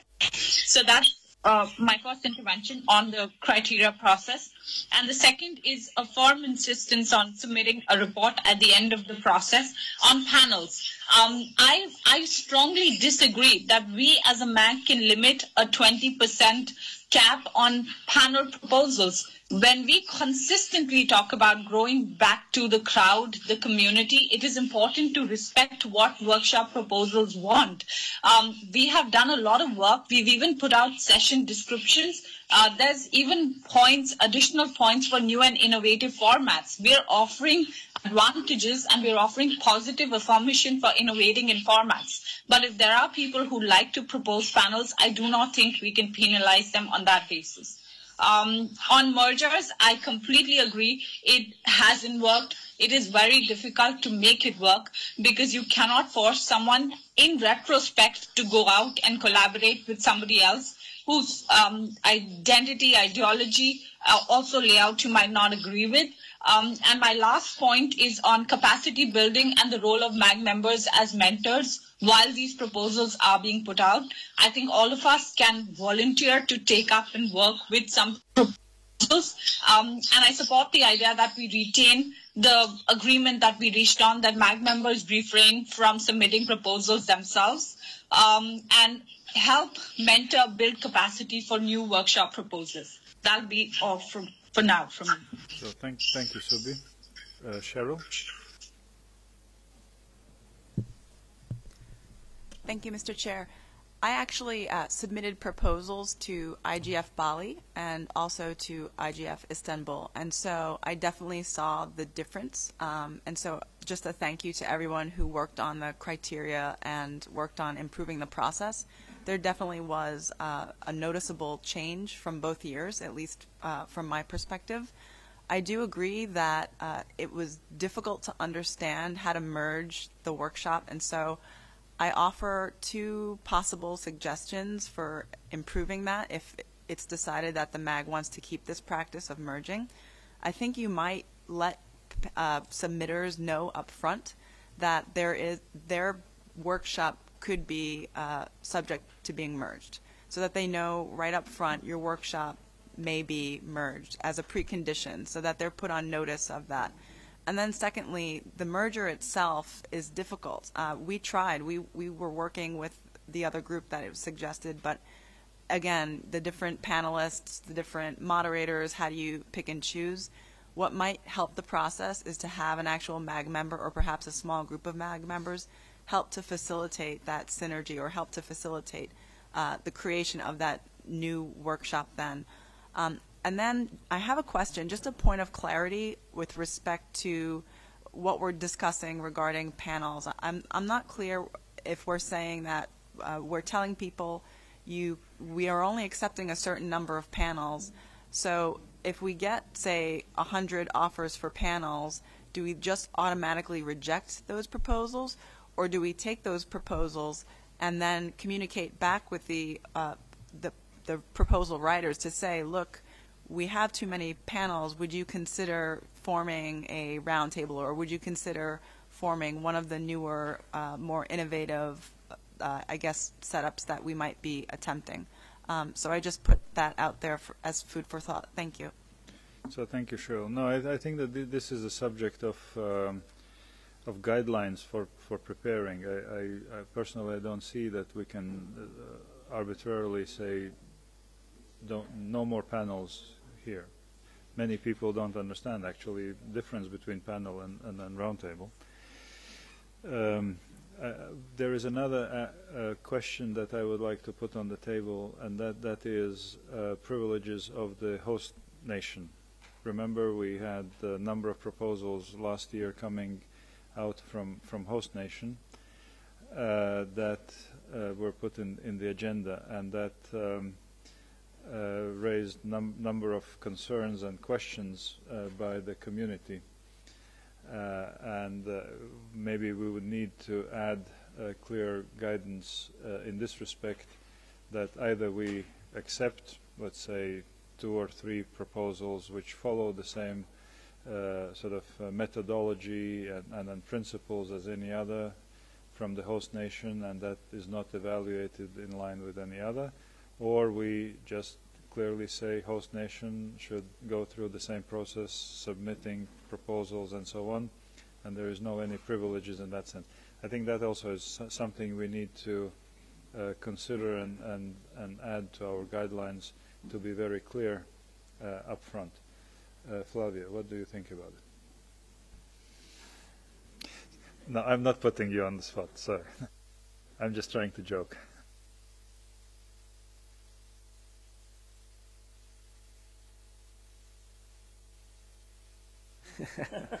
Sorry. Uh, so I would like to, to, to talk about the, the evaluation of the workshops. So uh, first thing, uh, it's, uh, I support the idea already mentioned by Subi that uh, we should try to give scores for the individual aspects of the evaluation spreadsheet so that we do not give only a, a global final score because this is really difficult. I think that uh, this is very usual in, in, in many, uh, for instance, conferences of the scientific community, that uh, we have those uh, spreadsheets for evaluation where we uh, even have weights for the individual aspects. We may decide which are the, the things here uh, that are more important than others. For instance, we want to, to, to give a priority for first-time proposers or for diversity, gender or geographic diversity. So we can put different weights for uh, the individual aspects And then if we give a, a score for each aspect from 0 to 2 or to 3, uh, the, the, the final score will be weighted and not simply uh, adding uh, linearly the, the, the, individual scores. So I think this would uh, add to the, the, the, evaluation process. And I also think that this, uh, the, the, the, the aspects are fine, yeah, these eight, nine aspects here, but they are of different natures. There are things that are related to diversity, so whether the, the, the proposals are first-time proposals, whether they, they represent diversity, gender, geographic, and so on, develop, if they come from developing countries. This is one uh, set of uh, uh, evaluation criteria. There is a different one that's related to contents. If the, the proposal is well thought and, and, and true and complete, if the topic is relevant to the internet governance, uh, uh, if the, the, the there is specificity in the problem or question or challenge to be addressed and so on. So we can group the criteria, have two or three different groups, and then decide which uh, weight we should give to each of these groups. We want to put more emphasis on diversity than on contents or, or, or vice versa. So it's uh, still to be uh, uh decided. If we have this uh, working group for, for taking care of this, maybe this working group should uh, consider these things that uh, try to to balance weights of the different uh, aspects to be evaluated here. And I think we should uh, give, uh, publicize the, the complete scores for the individual aspects so that people see why they had a final score of three or four because they have been evaluated so and so for each individual score. Another thing is that we should try to balance uh, the workshops among the sub-themes that we will decide. So if we have three or four or, or five main sub-themes, we should try to avoid too many or too few workshops on a given sub-theme. So this is another cri criterion for, for evaluation of the workshops. Uh, of course, we should give room for workshops that do not fit directly into the sub-themes if they are relevant. So this is uh, orthogonal to the other uh, evaluation of the individual proposals, how we balance the workshops among the sub-themes. So I, I, would like very much to, to, to be involved directly with this uh, criteria and maybe volunteer for this working group. So thank you very much, Fabio.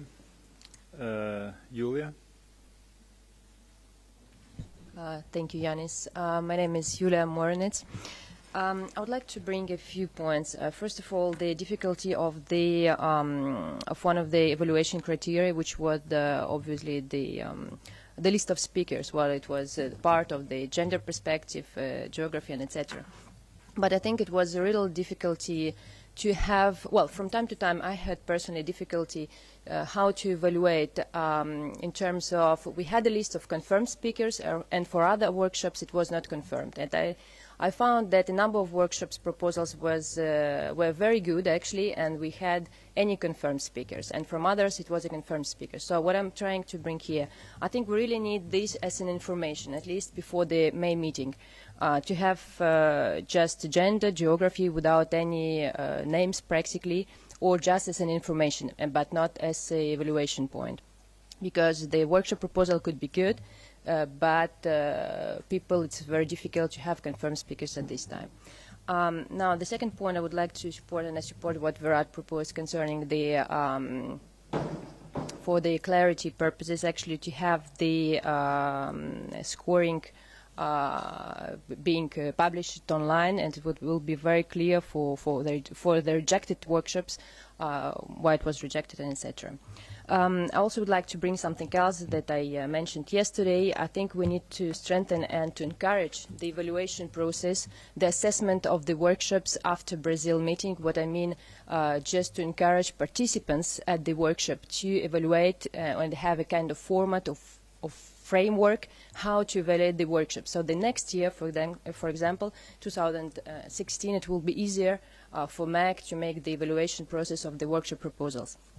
Also on the concerning the merging of workshops, personally I don't really agree that um, we don't need to encourage the merge. I think this is difficult. I have a personal experience, uh, and what, it was a good experience. We um, uh, succeeded in merging, and I think it was a very, uh, it was a great proposal on uh, on having a workshop, uh, sorry, a work group on how to facilitate the merge, and I think we really need to encourage this. Thank you. So thank you, Yulia. we have further further requests, Son Jung, and Fiona. I will keep you for the for the for the end because you know I will ask you to continue working together with Suzanne. I'm giving a preview. uh, Song Jung, please.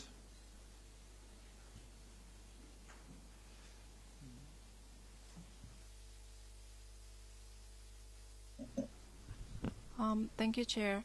Um, actually, I was um, uh, thinking about um, the the criteria of uh, scoring. Um, as far as I remember, I had uh, really difficulties uh, to find uh, panels, uh, various panels, because I was new there, and also because I was the only, um, how can I say, the proposed. I, I, mean, in Korea, I was the only one who proposed a workshop, so I only has to depend on my uh, personal capacity to find panels. So, um, but you know, having too many panels uh, would not be helpful uh, for uh, discussion and debate. So um, I think um, I don't know how to put this in English, but uh, if we can put more score on um, on some workshops uh, with joint um, found founder, joint founder.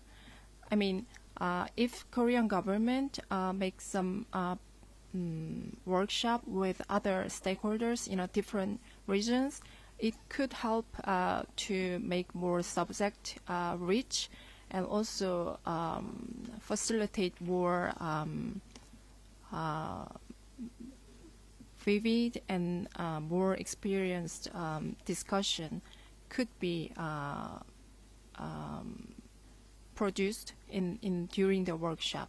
Thank you. So thank you. Marilyn, please. Thank you, Chair. My name is Marilyn Cade.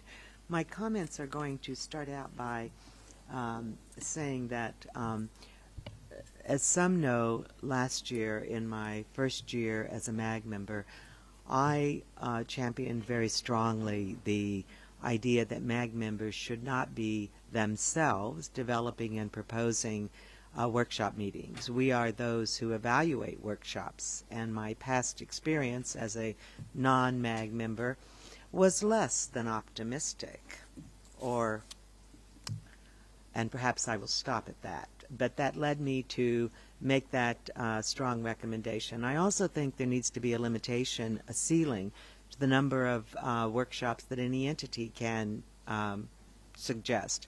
In previous years, one organization proposed 15 and another 17. That creates a very unlevel playing field, particularly when an organization is very sophisticated and knowledgeable and well resourced. So we, we set some limitations, and I hope we will stick with those. On the question of mergers, I did coach and help with mergers in Kenya, in Lithuania, in um, Baku and in Istanbul. From my corporate life, I will tell you my experience is there's no such thing as a merger, there's only an acquisition. And most of the parties that we asked to merge really felt that way. And I found when I tried to mediate and moderate, I really shared their experience. So my two suggestions on uh, merging are this. Start very early, have a neutral, non-involved MAG member to be a facilitator of the merger and require giving on both sides. Otherwise, we only have acquisitions.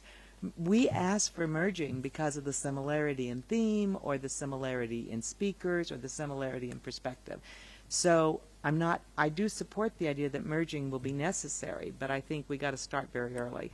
On the issue of panels, if you are from a developing country and you're a first time proposer, um, dictating the format may be very unfair on our part. I think what we're looking for is a diversity of formats, but really the party who proposes the workshop needs to have the flexibility to design and rationalize that design. It helps tremendously, and many parties who submitted workshop proposals kept asking me for information about what what is the space that is available. So the earlier we provide the room setup, the better and more helpful it will be to those who propose. Finally, I will just say, I don't think having a hard and fast scale actually is fair. I think the MAG needs to go through the rating and then we have to apply some judgment in order to come up with the mix of balance of workshops across topics and and inclusion of uh, new new proposers and in particular proposals from developing countries.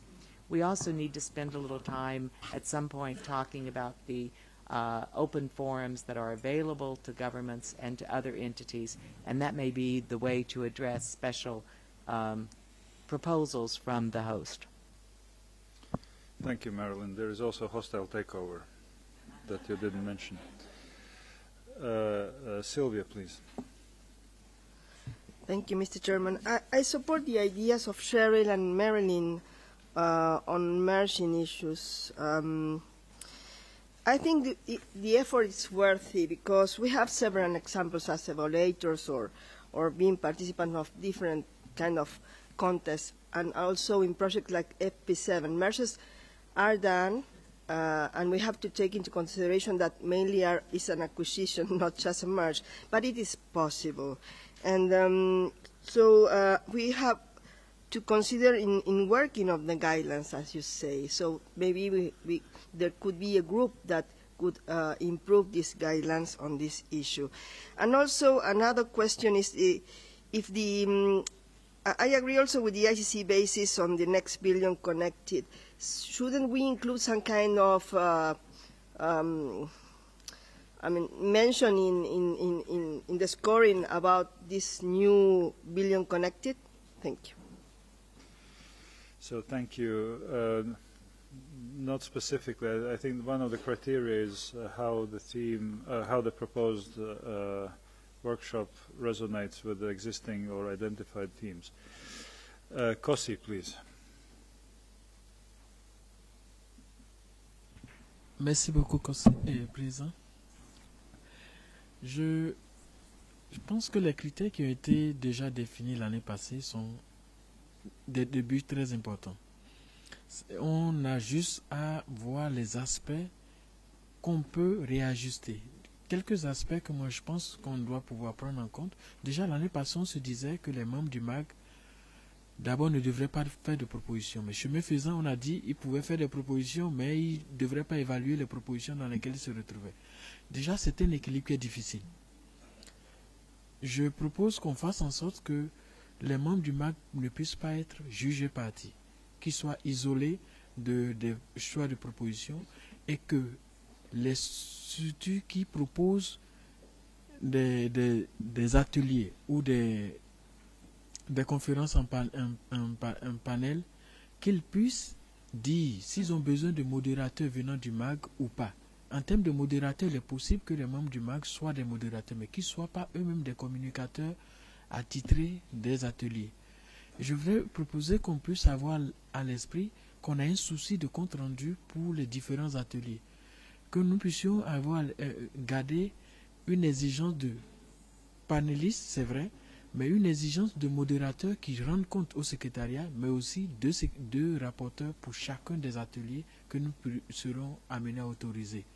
Mais est-ce que ces rapporteurs-là seront forcément membres des structures qui proposent les ateliers?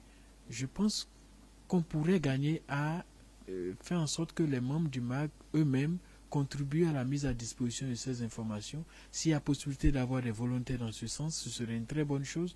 Au moins l'un des rapporteurs soit l'un des volontaires provenant du MAG, ça va faciliter la récupération des informations. Concernant les notions de coupler les informations, les ateliers ou non, c'est vrai, il y a des ateliers qui sont euh, souvent sur le même genre de thème. Quand je prends par exemple l'organisation des IGF régionaux, est-ce qu'il y aura un IGF régional pour l'Asie, un, autre pour l'Afrique, un autre pour euh, l'Europe, ainsi de suite? On gagnerait peut-être pour ce genre d'activité à avoir une seule salle pour que tous ces IGF puissent avoir l'occasion de présenter ce qu'ils ont fait de façon spécifique en une fois.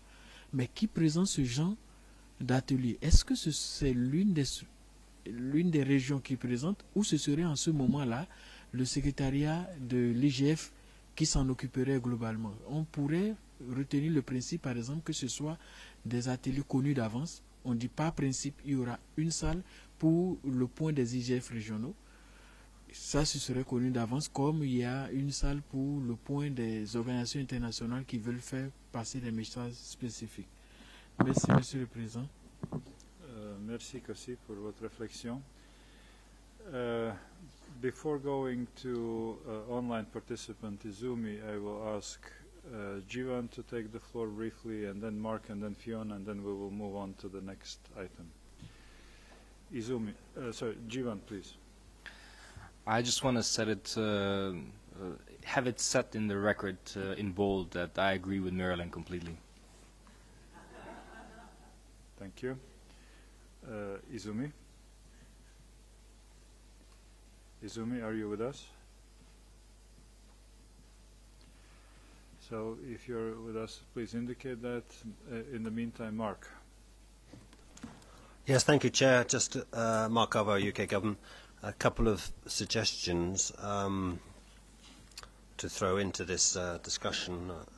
Um, first of all, um, we should encourage uh, proposers to consider the options for the kind of um, uh, event in in the IGF. So instead of talking about workshop proposals, we we might change the word workshop to to um, uh, embed the idea that they have an option. You know, it could be a, a could be a workshop with a panel, a discussion with or a discussion with facilitators, a roundtable, flash session, and so on. So this gives us more um, maneuverability in terms of ensuring a, a rich program and so on.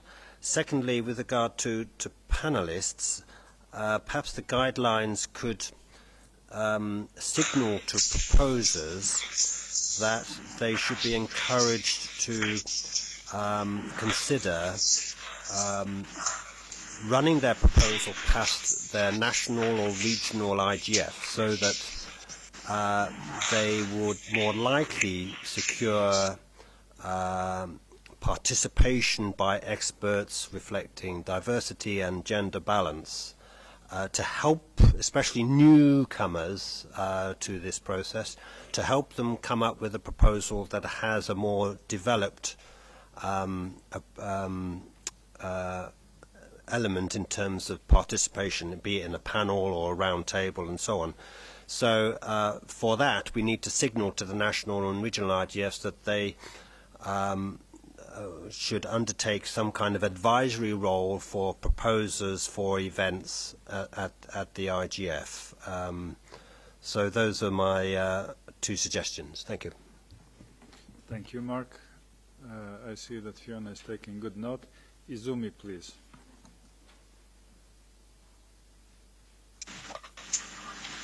Thank you, Chair. Um, I find um, the comment made about uh, differentiating the content element and the framework um, about um, how the workshop is um, submitted is interesting. So uh, considering whether the contents of the workshop is good and set certain criteria for that. And then also another uh, element is looking at whether it uh, meets certain criteria such as geographic diversity, uh, gender balance, etc. So while um, I don't want to overcomplicate the criteria, it may be int- uh, it may be worth um, thinking of um, categorizing which criteria is uh, relevant to content and which uh, criteria is relevant to uh, meeting actually the framework of um, the workshop itself. That's one observation. And regarding the comment uh, made uh, about being new and not being able to reach out to other um, uh, speakers or panelists uh, to uh, meet the criteria for the proper geographic balance, etc. I found um, one of the suggestions made by Cheryl, I believe, on the uh, mailing list was interesting about have some kind of common uh, resource for suggested speakers. Um, that might be something that um, may be worth exploring. Maybe not necessarily in terms of having uh, individual speakers, but maybe um, list organizations which are willing to introduce speakers for a certain topic, for example. And uh, lastly, regarding um, the point about accommodating um, session from host country, I think we have to be quite uh, careful in its consideration. But I'm basically open to the idea of accommodating session from host country as long as the criteria is clearly defined and, uh, uh, for example, such as the contents are in line with the spirit of the IGF. I think that's a master condition if we accommodate it. And also the number of uh, is also predefined and we don't just uh, keep on increasing um, the contents from the host country. That's my comment for, for now. Thank you.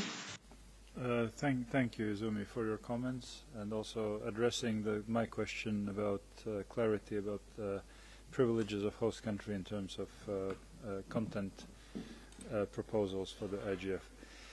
Uh, Peter and then Fiona, and then we're moving to the next topic. Peter, please. Uh, thank you, Mr. Chairman, and good morning. I'd like to continue this uh, discussion uh, about improving the content of the meetings by starting a conversation uh, which we can carry on online after this meeting about post-event evaluation of each session. We don't seem to do anything except require some people to file a report, but there's no evidence that I can see that the report is actually used uh, except as a check. Um, what we need to be doing is measuring uh, sessions against the proposer's own goals at the time that they submit the proposal measure them against the theme of the IGF itself. Uh, this is standard, relatively standard fare for most recurring conferences. We can prepare evaluation sheets for people to use in the sessions.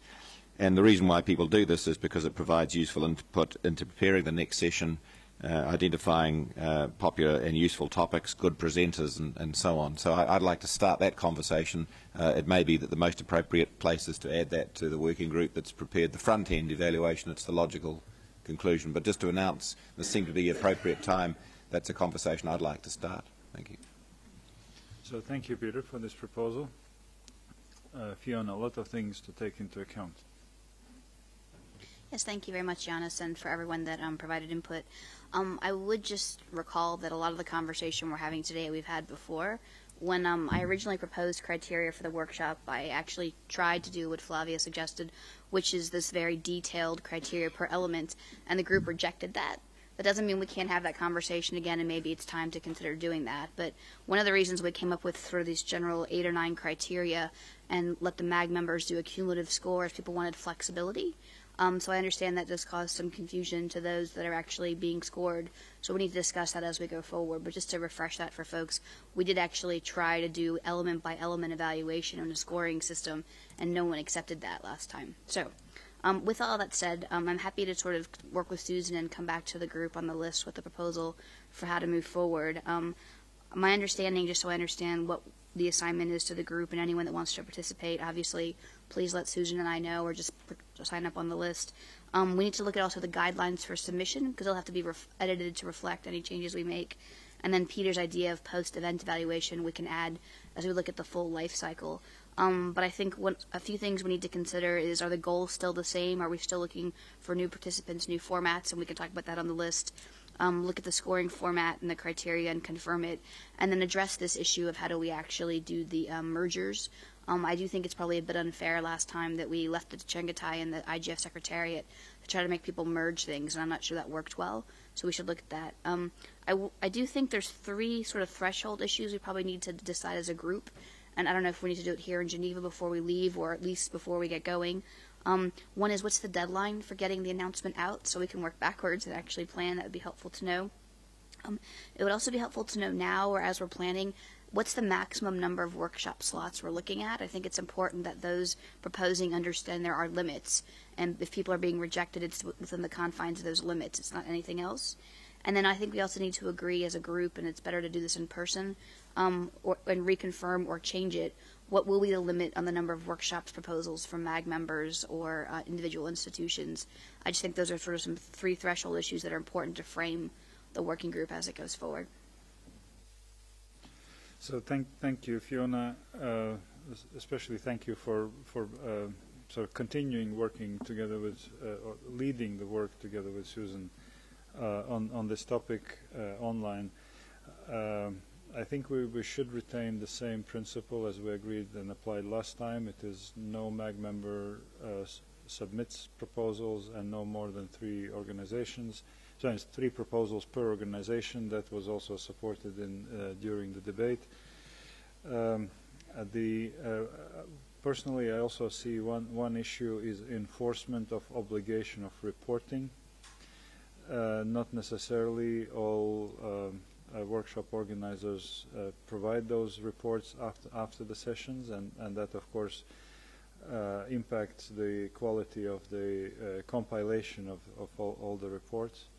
So these these issues we need to uh, address. So thank you. I think we can now move on to the next uh, agenda item, and that is conversation about main slash focus sessions, as yesterday was proposed, that maybe we need to talk about uh, uh, focus sessions. Uh, we had very mixed uh, mixed evaluation or, or feedback from uh, Istanbul and and actually from every previous meeting as well. Uh, the difference in Istanbul because of the size of the room, there were there were number of in, rooms were relatively full but uh, we had many uh, speakers, too many speakers, and too little interaction in those uh, in those meetings. Um, I, I, think it is very difficult to uh, to to provide a solution, but at least uh, my my suggestion would be to work on kind of a guidelines for preparing those focus sessions. Uh, that would help uh, help uh, ourselves actually to do that. these are focus sessions are the ones that are organized by by the MAG, and basically they they they should be the ones where every workshop feeds in and provides input, kind of, of uh, uh, collect, collector sessions. Um, so the floor, floor is open. We have another tw 12 minutes uh, to go in this session, and then we may continue in the next one. Uh, Michael, Fiona. Michael, please. This is uh, related both to this issue and the previous discussion. Do we have any information on how many people are looking at the webcasts of the different sessions? Is there a way to know whether the main sessions have gotten a lot of attention after the fact? Um, I really think that as we think about revising the criteria, we might want to look at these numbers, and because it would be helpful to know if there are certain topics or certain types of sessions that attract a lot of echo after the fact. Chengetai, do you have an answer? Sir? I can try and find out. Okay, we will see if, if we can get uh, answer in two hours for the for the beginning of the afternoon session. Uh, Fiona, please. Yes, thank you very much, Janis. Um, I would strongly support the idea of, of guidelines. If nothing else, it helps with the institutional memory. There is a large rotation of MAG members every year, and I, I think to sort of ensure that we don't sort of start from scratch each time, I think it's a helpful construct. Um, I do think the challenges for this particular IGF, and this was played out on the MAG list over the course of the fall as, as it was being organized, was that a couple of people did diligent work to try to organize these events, and I feel like they ended up having to do a lot of work by themselves, which is not how this is supposed to work. Um, so I think we need to sort of address that as a concept. But also, um, it would be helpful to sort of identify what the goals are of each session and the limits of the number of speakers. I know we end up with having to have a lot of speakers because we try to make each session meet all the elements of diversity, and I think that's probably challenging. If we keep doing that, we're always going to end up with a lot of speakers, and maybe we could look at this, this sort of the, the IGF more holistically, make sure that the, the diversity element is met with, if we look at the main sessions in total, not as individual elements, that may help with some of that. Because otherwise, we end up with having to actually, you know, tick the box to make sure you have people from every region and every gender and every group, and then you end up naturally with 20 people on a panel. And I don't think that's always the most constructive uh, format. So I would just offer that as a suggestion as we go forward. So thank you, Fiona. Uh, while while uh, Subi will be speaking, I would like to invite uh, uh MAG members to think who would be willing to volunteer uh, to to put pen on the paper and, and uh, work on those or coordinate working on those um, guidelines for organization of focus sessions. Subi, and after that, Marilyn. Thank you, Janis. Um, to start I, I hope somebody, and I'm hopeful that it is the Secretariat, will be taking note of uh, online volunteers. I would like to volunteer to work on formulating guidelines. I think it is an excellent suggestion that Fiona put on one of the virtual calls for putting together main sessions. Um, I'd also like to assist Susan and Fiona on uh, contributing towards workshop evaluations and rating process while we're revisiting it. On the main sessions, um, I happen to co-organize with Marilyn Cade and 14 other volunteers from the MAG main session last year. Um, I've submitted a detailed report to the Secretariat. There was also some conversation online about sharing these reports from funded MAG members. It would be helpful, um, and there's expression of interest from others as well if they would like to read. Um, there are concrete suggestions which also mentioned challenges and barriers that we experienced as MAG members while organizing these sessions. Um, there were several innovations this year. It also included substantive engagement throughout the year and inputs from the community, volunteers from the community who were non-MAG members as part of the planning process while we were putting these sessions together. But main sessions remain one of the core tasks that MAG members perform other than evaluation and ratings. Um, I think it's important to realize as we go forward that there will be no blanket solution or a one size fits approach. It will depend upon the theme uh, or the sub theme that we select for the main session. Um, while we go forward, there will be an, a requirement of experts or leadership input even when you have more speakers striving to achieve gender balance and diversity and meet with all the criteria, there are innovations in formats that we can achieve as organizers. Um, you do not have to absolutely keep interaction and Q&A for the last 20 minutes of a three-hour long session. It is important that after initial remarks, you open up the floor and you include the room as participants. So main sessions remain important and key, must relate to um, workshops and suggestions. Um, they should be spread out throughout the week and guidelines are very important because when we're putting out inputs or calls for inputs, there have been lulls. We understand that MAG members work on a voluntary basis, but those people who are trying to co-lead or facilitate also have similar challenges. So you cannot wait endlessly for inputs to be provided or given. Some kind of a guideline with respect to the tight calendar that we will maintain will be extremely helpful. And I would also like to see more MAG members in the room when these main sessions are taking place so that there is feedback um, assistance in terms of logistics from the host country with uh, volunteers who speak and communicate in English is very, very important so that we do not need to have MAG members running around while the main session is on. This is important feedback.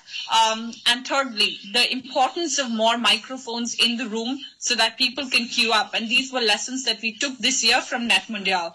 We, we reversed, we opened up the DeepWell format we had a full room with standing room only. And I agree with you, Janis, the room capacity determined that. But I see this as success when we've had almost empty rooms for main sessions. We've had full rooms with nobody leaving until the end of three hours, and we've had active engagement from audience participation. So if you do have main sessions which are well structured, I do not think that there will be an issue about audience engagement, participation from across the floor or the session formats um, and we'll take the rest of the conversation online. Thank you. Uh, thank you, Subi. Marilyn? Thank you.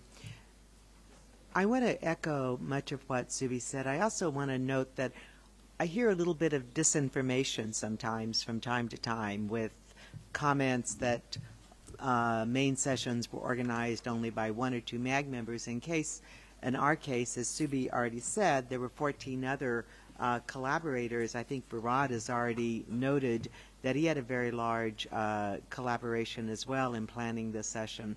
So uh, perhaps um, perhaps the problem is that uh, there was not enough um, cross communication due to lack of time because we were planning the main session uh, relatively quickly.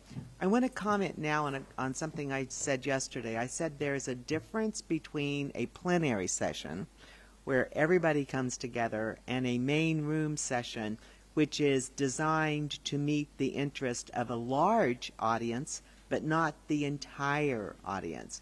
And I think that is what we did successfully in Turkey. We had um, standing room only in almost all of those main sessions. And uh, really, I would also note that um, people did stay.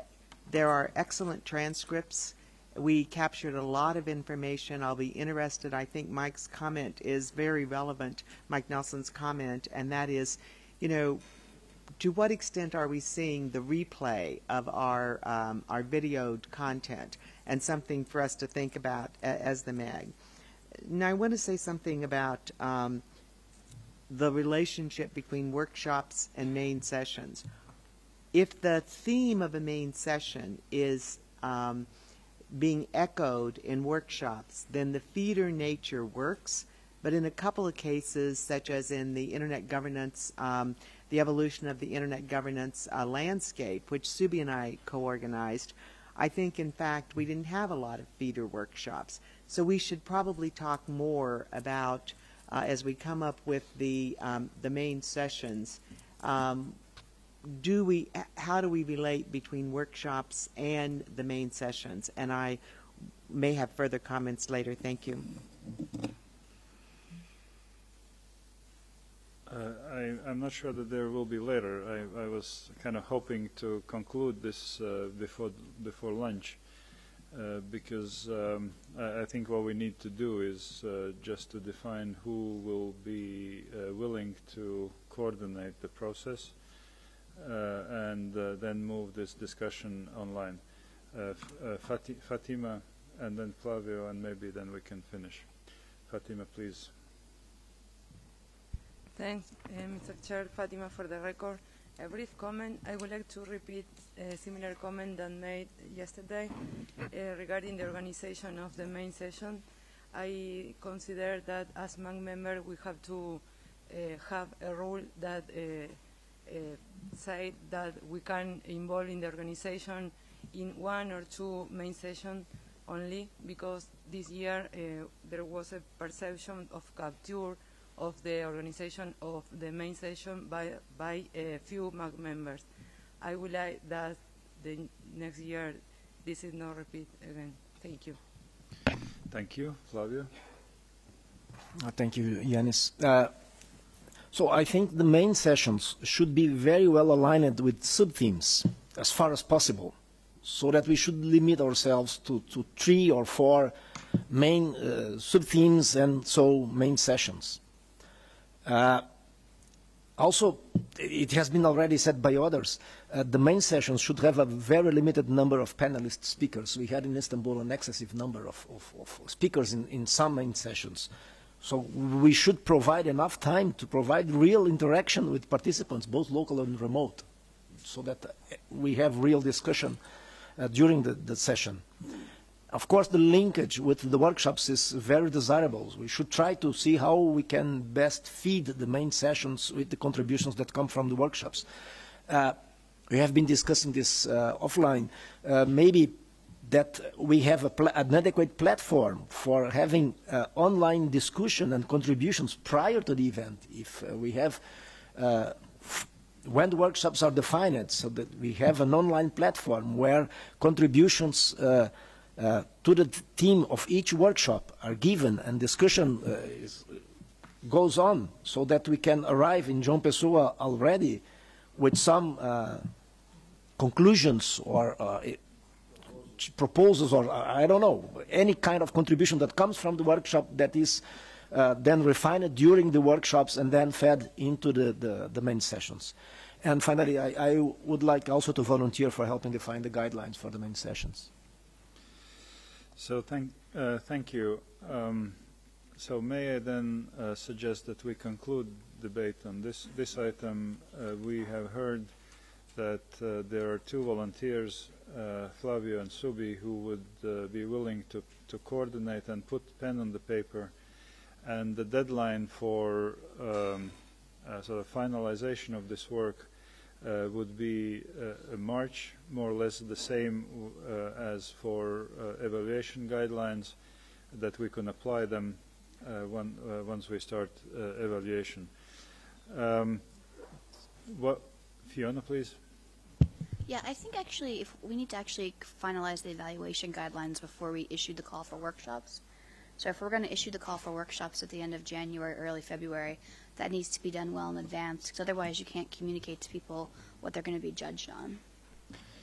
Uh, then, then thank you for this uh, uh, comment and precision. I, I, I agree. So then the deadline for, for your part of the work it would be uh, much earlier. And um, Ginger, you would like to say something? We're really on last seconds of the meeting. Just very quickly, um, I agree and would like to join uh, just to add the aspects of remote participation in the criteria. Thank you. And uh, we, we discussed with, with Chengetai, then for every workshop, we will try to identify here at the meeting the key coordinators, the main coordinators. Usually we, we do two. That's easier.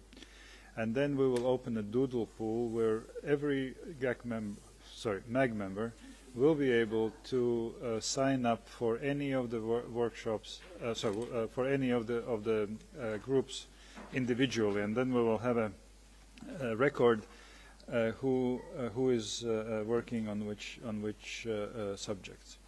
So thank you very much. Thank you, interpreters, for letting us a few minutes over the, the time. Uh, we are coming coming back uh, for the uh, session, which will be interpreted at three o'clock and we will start sharp at 3.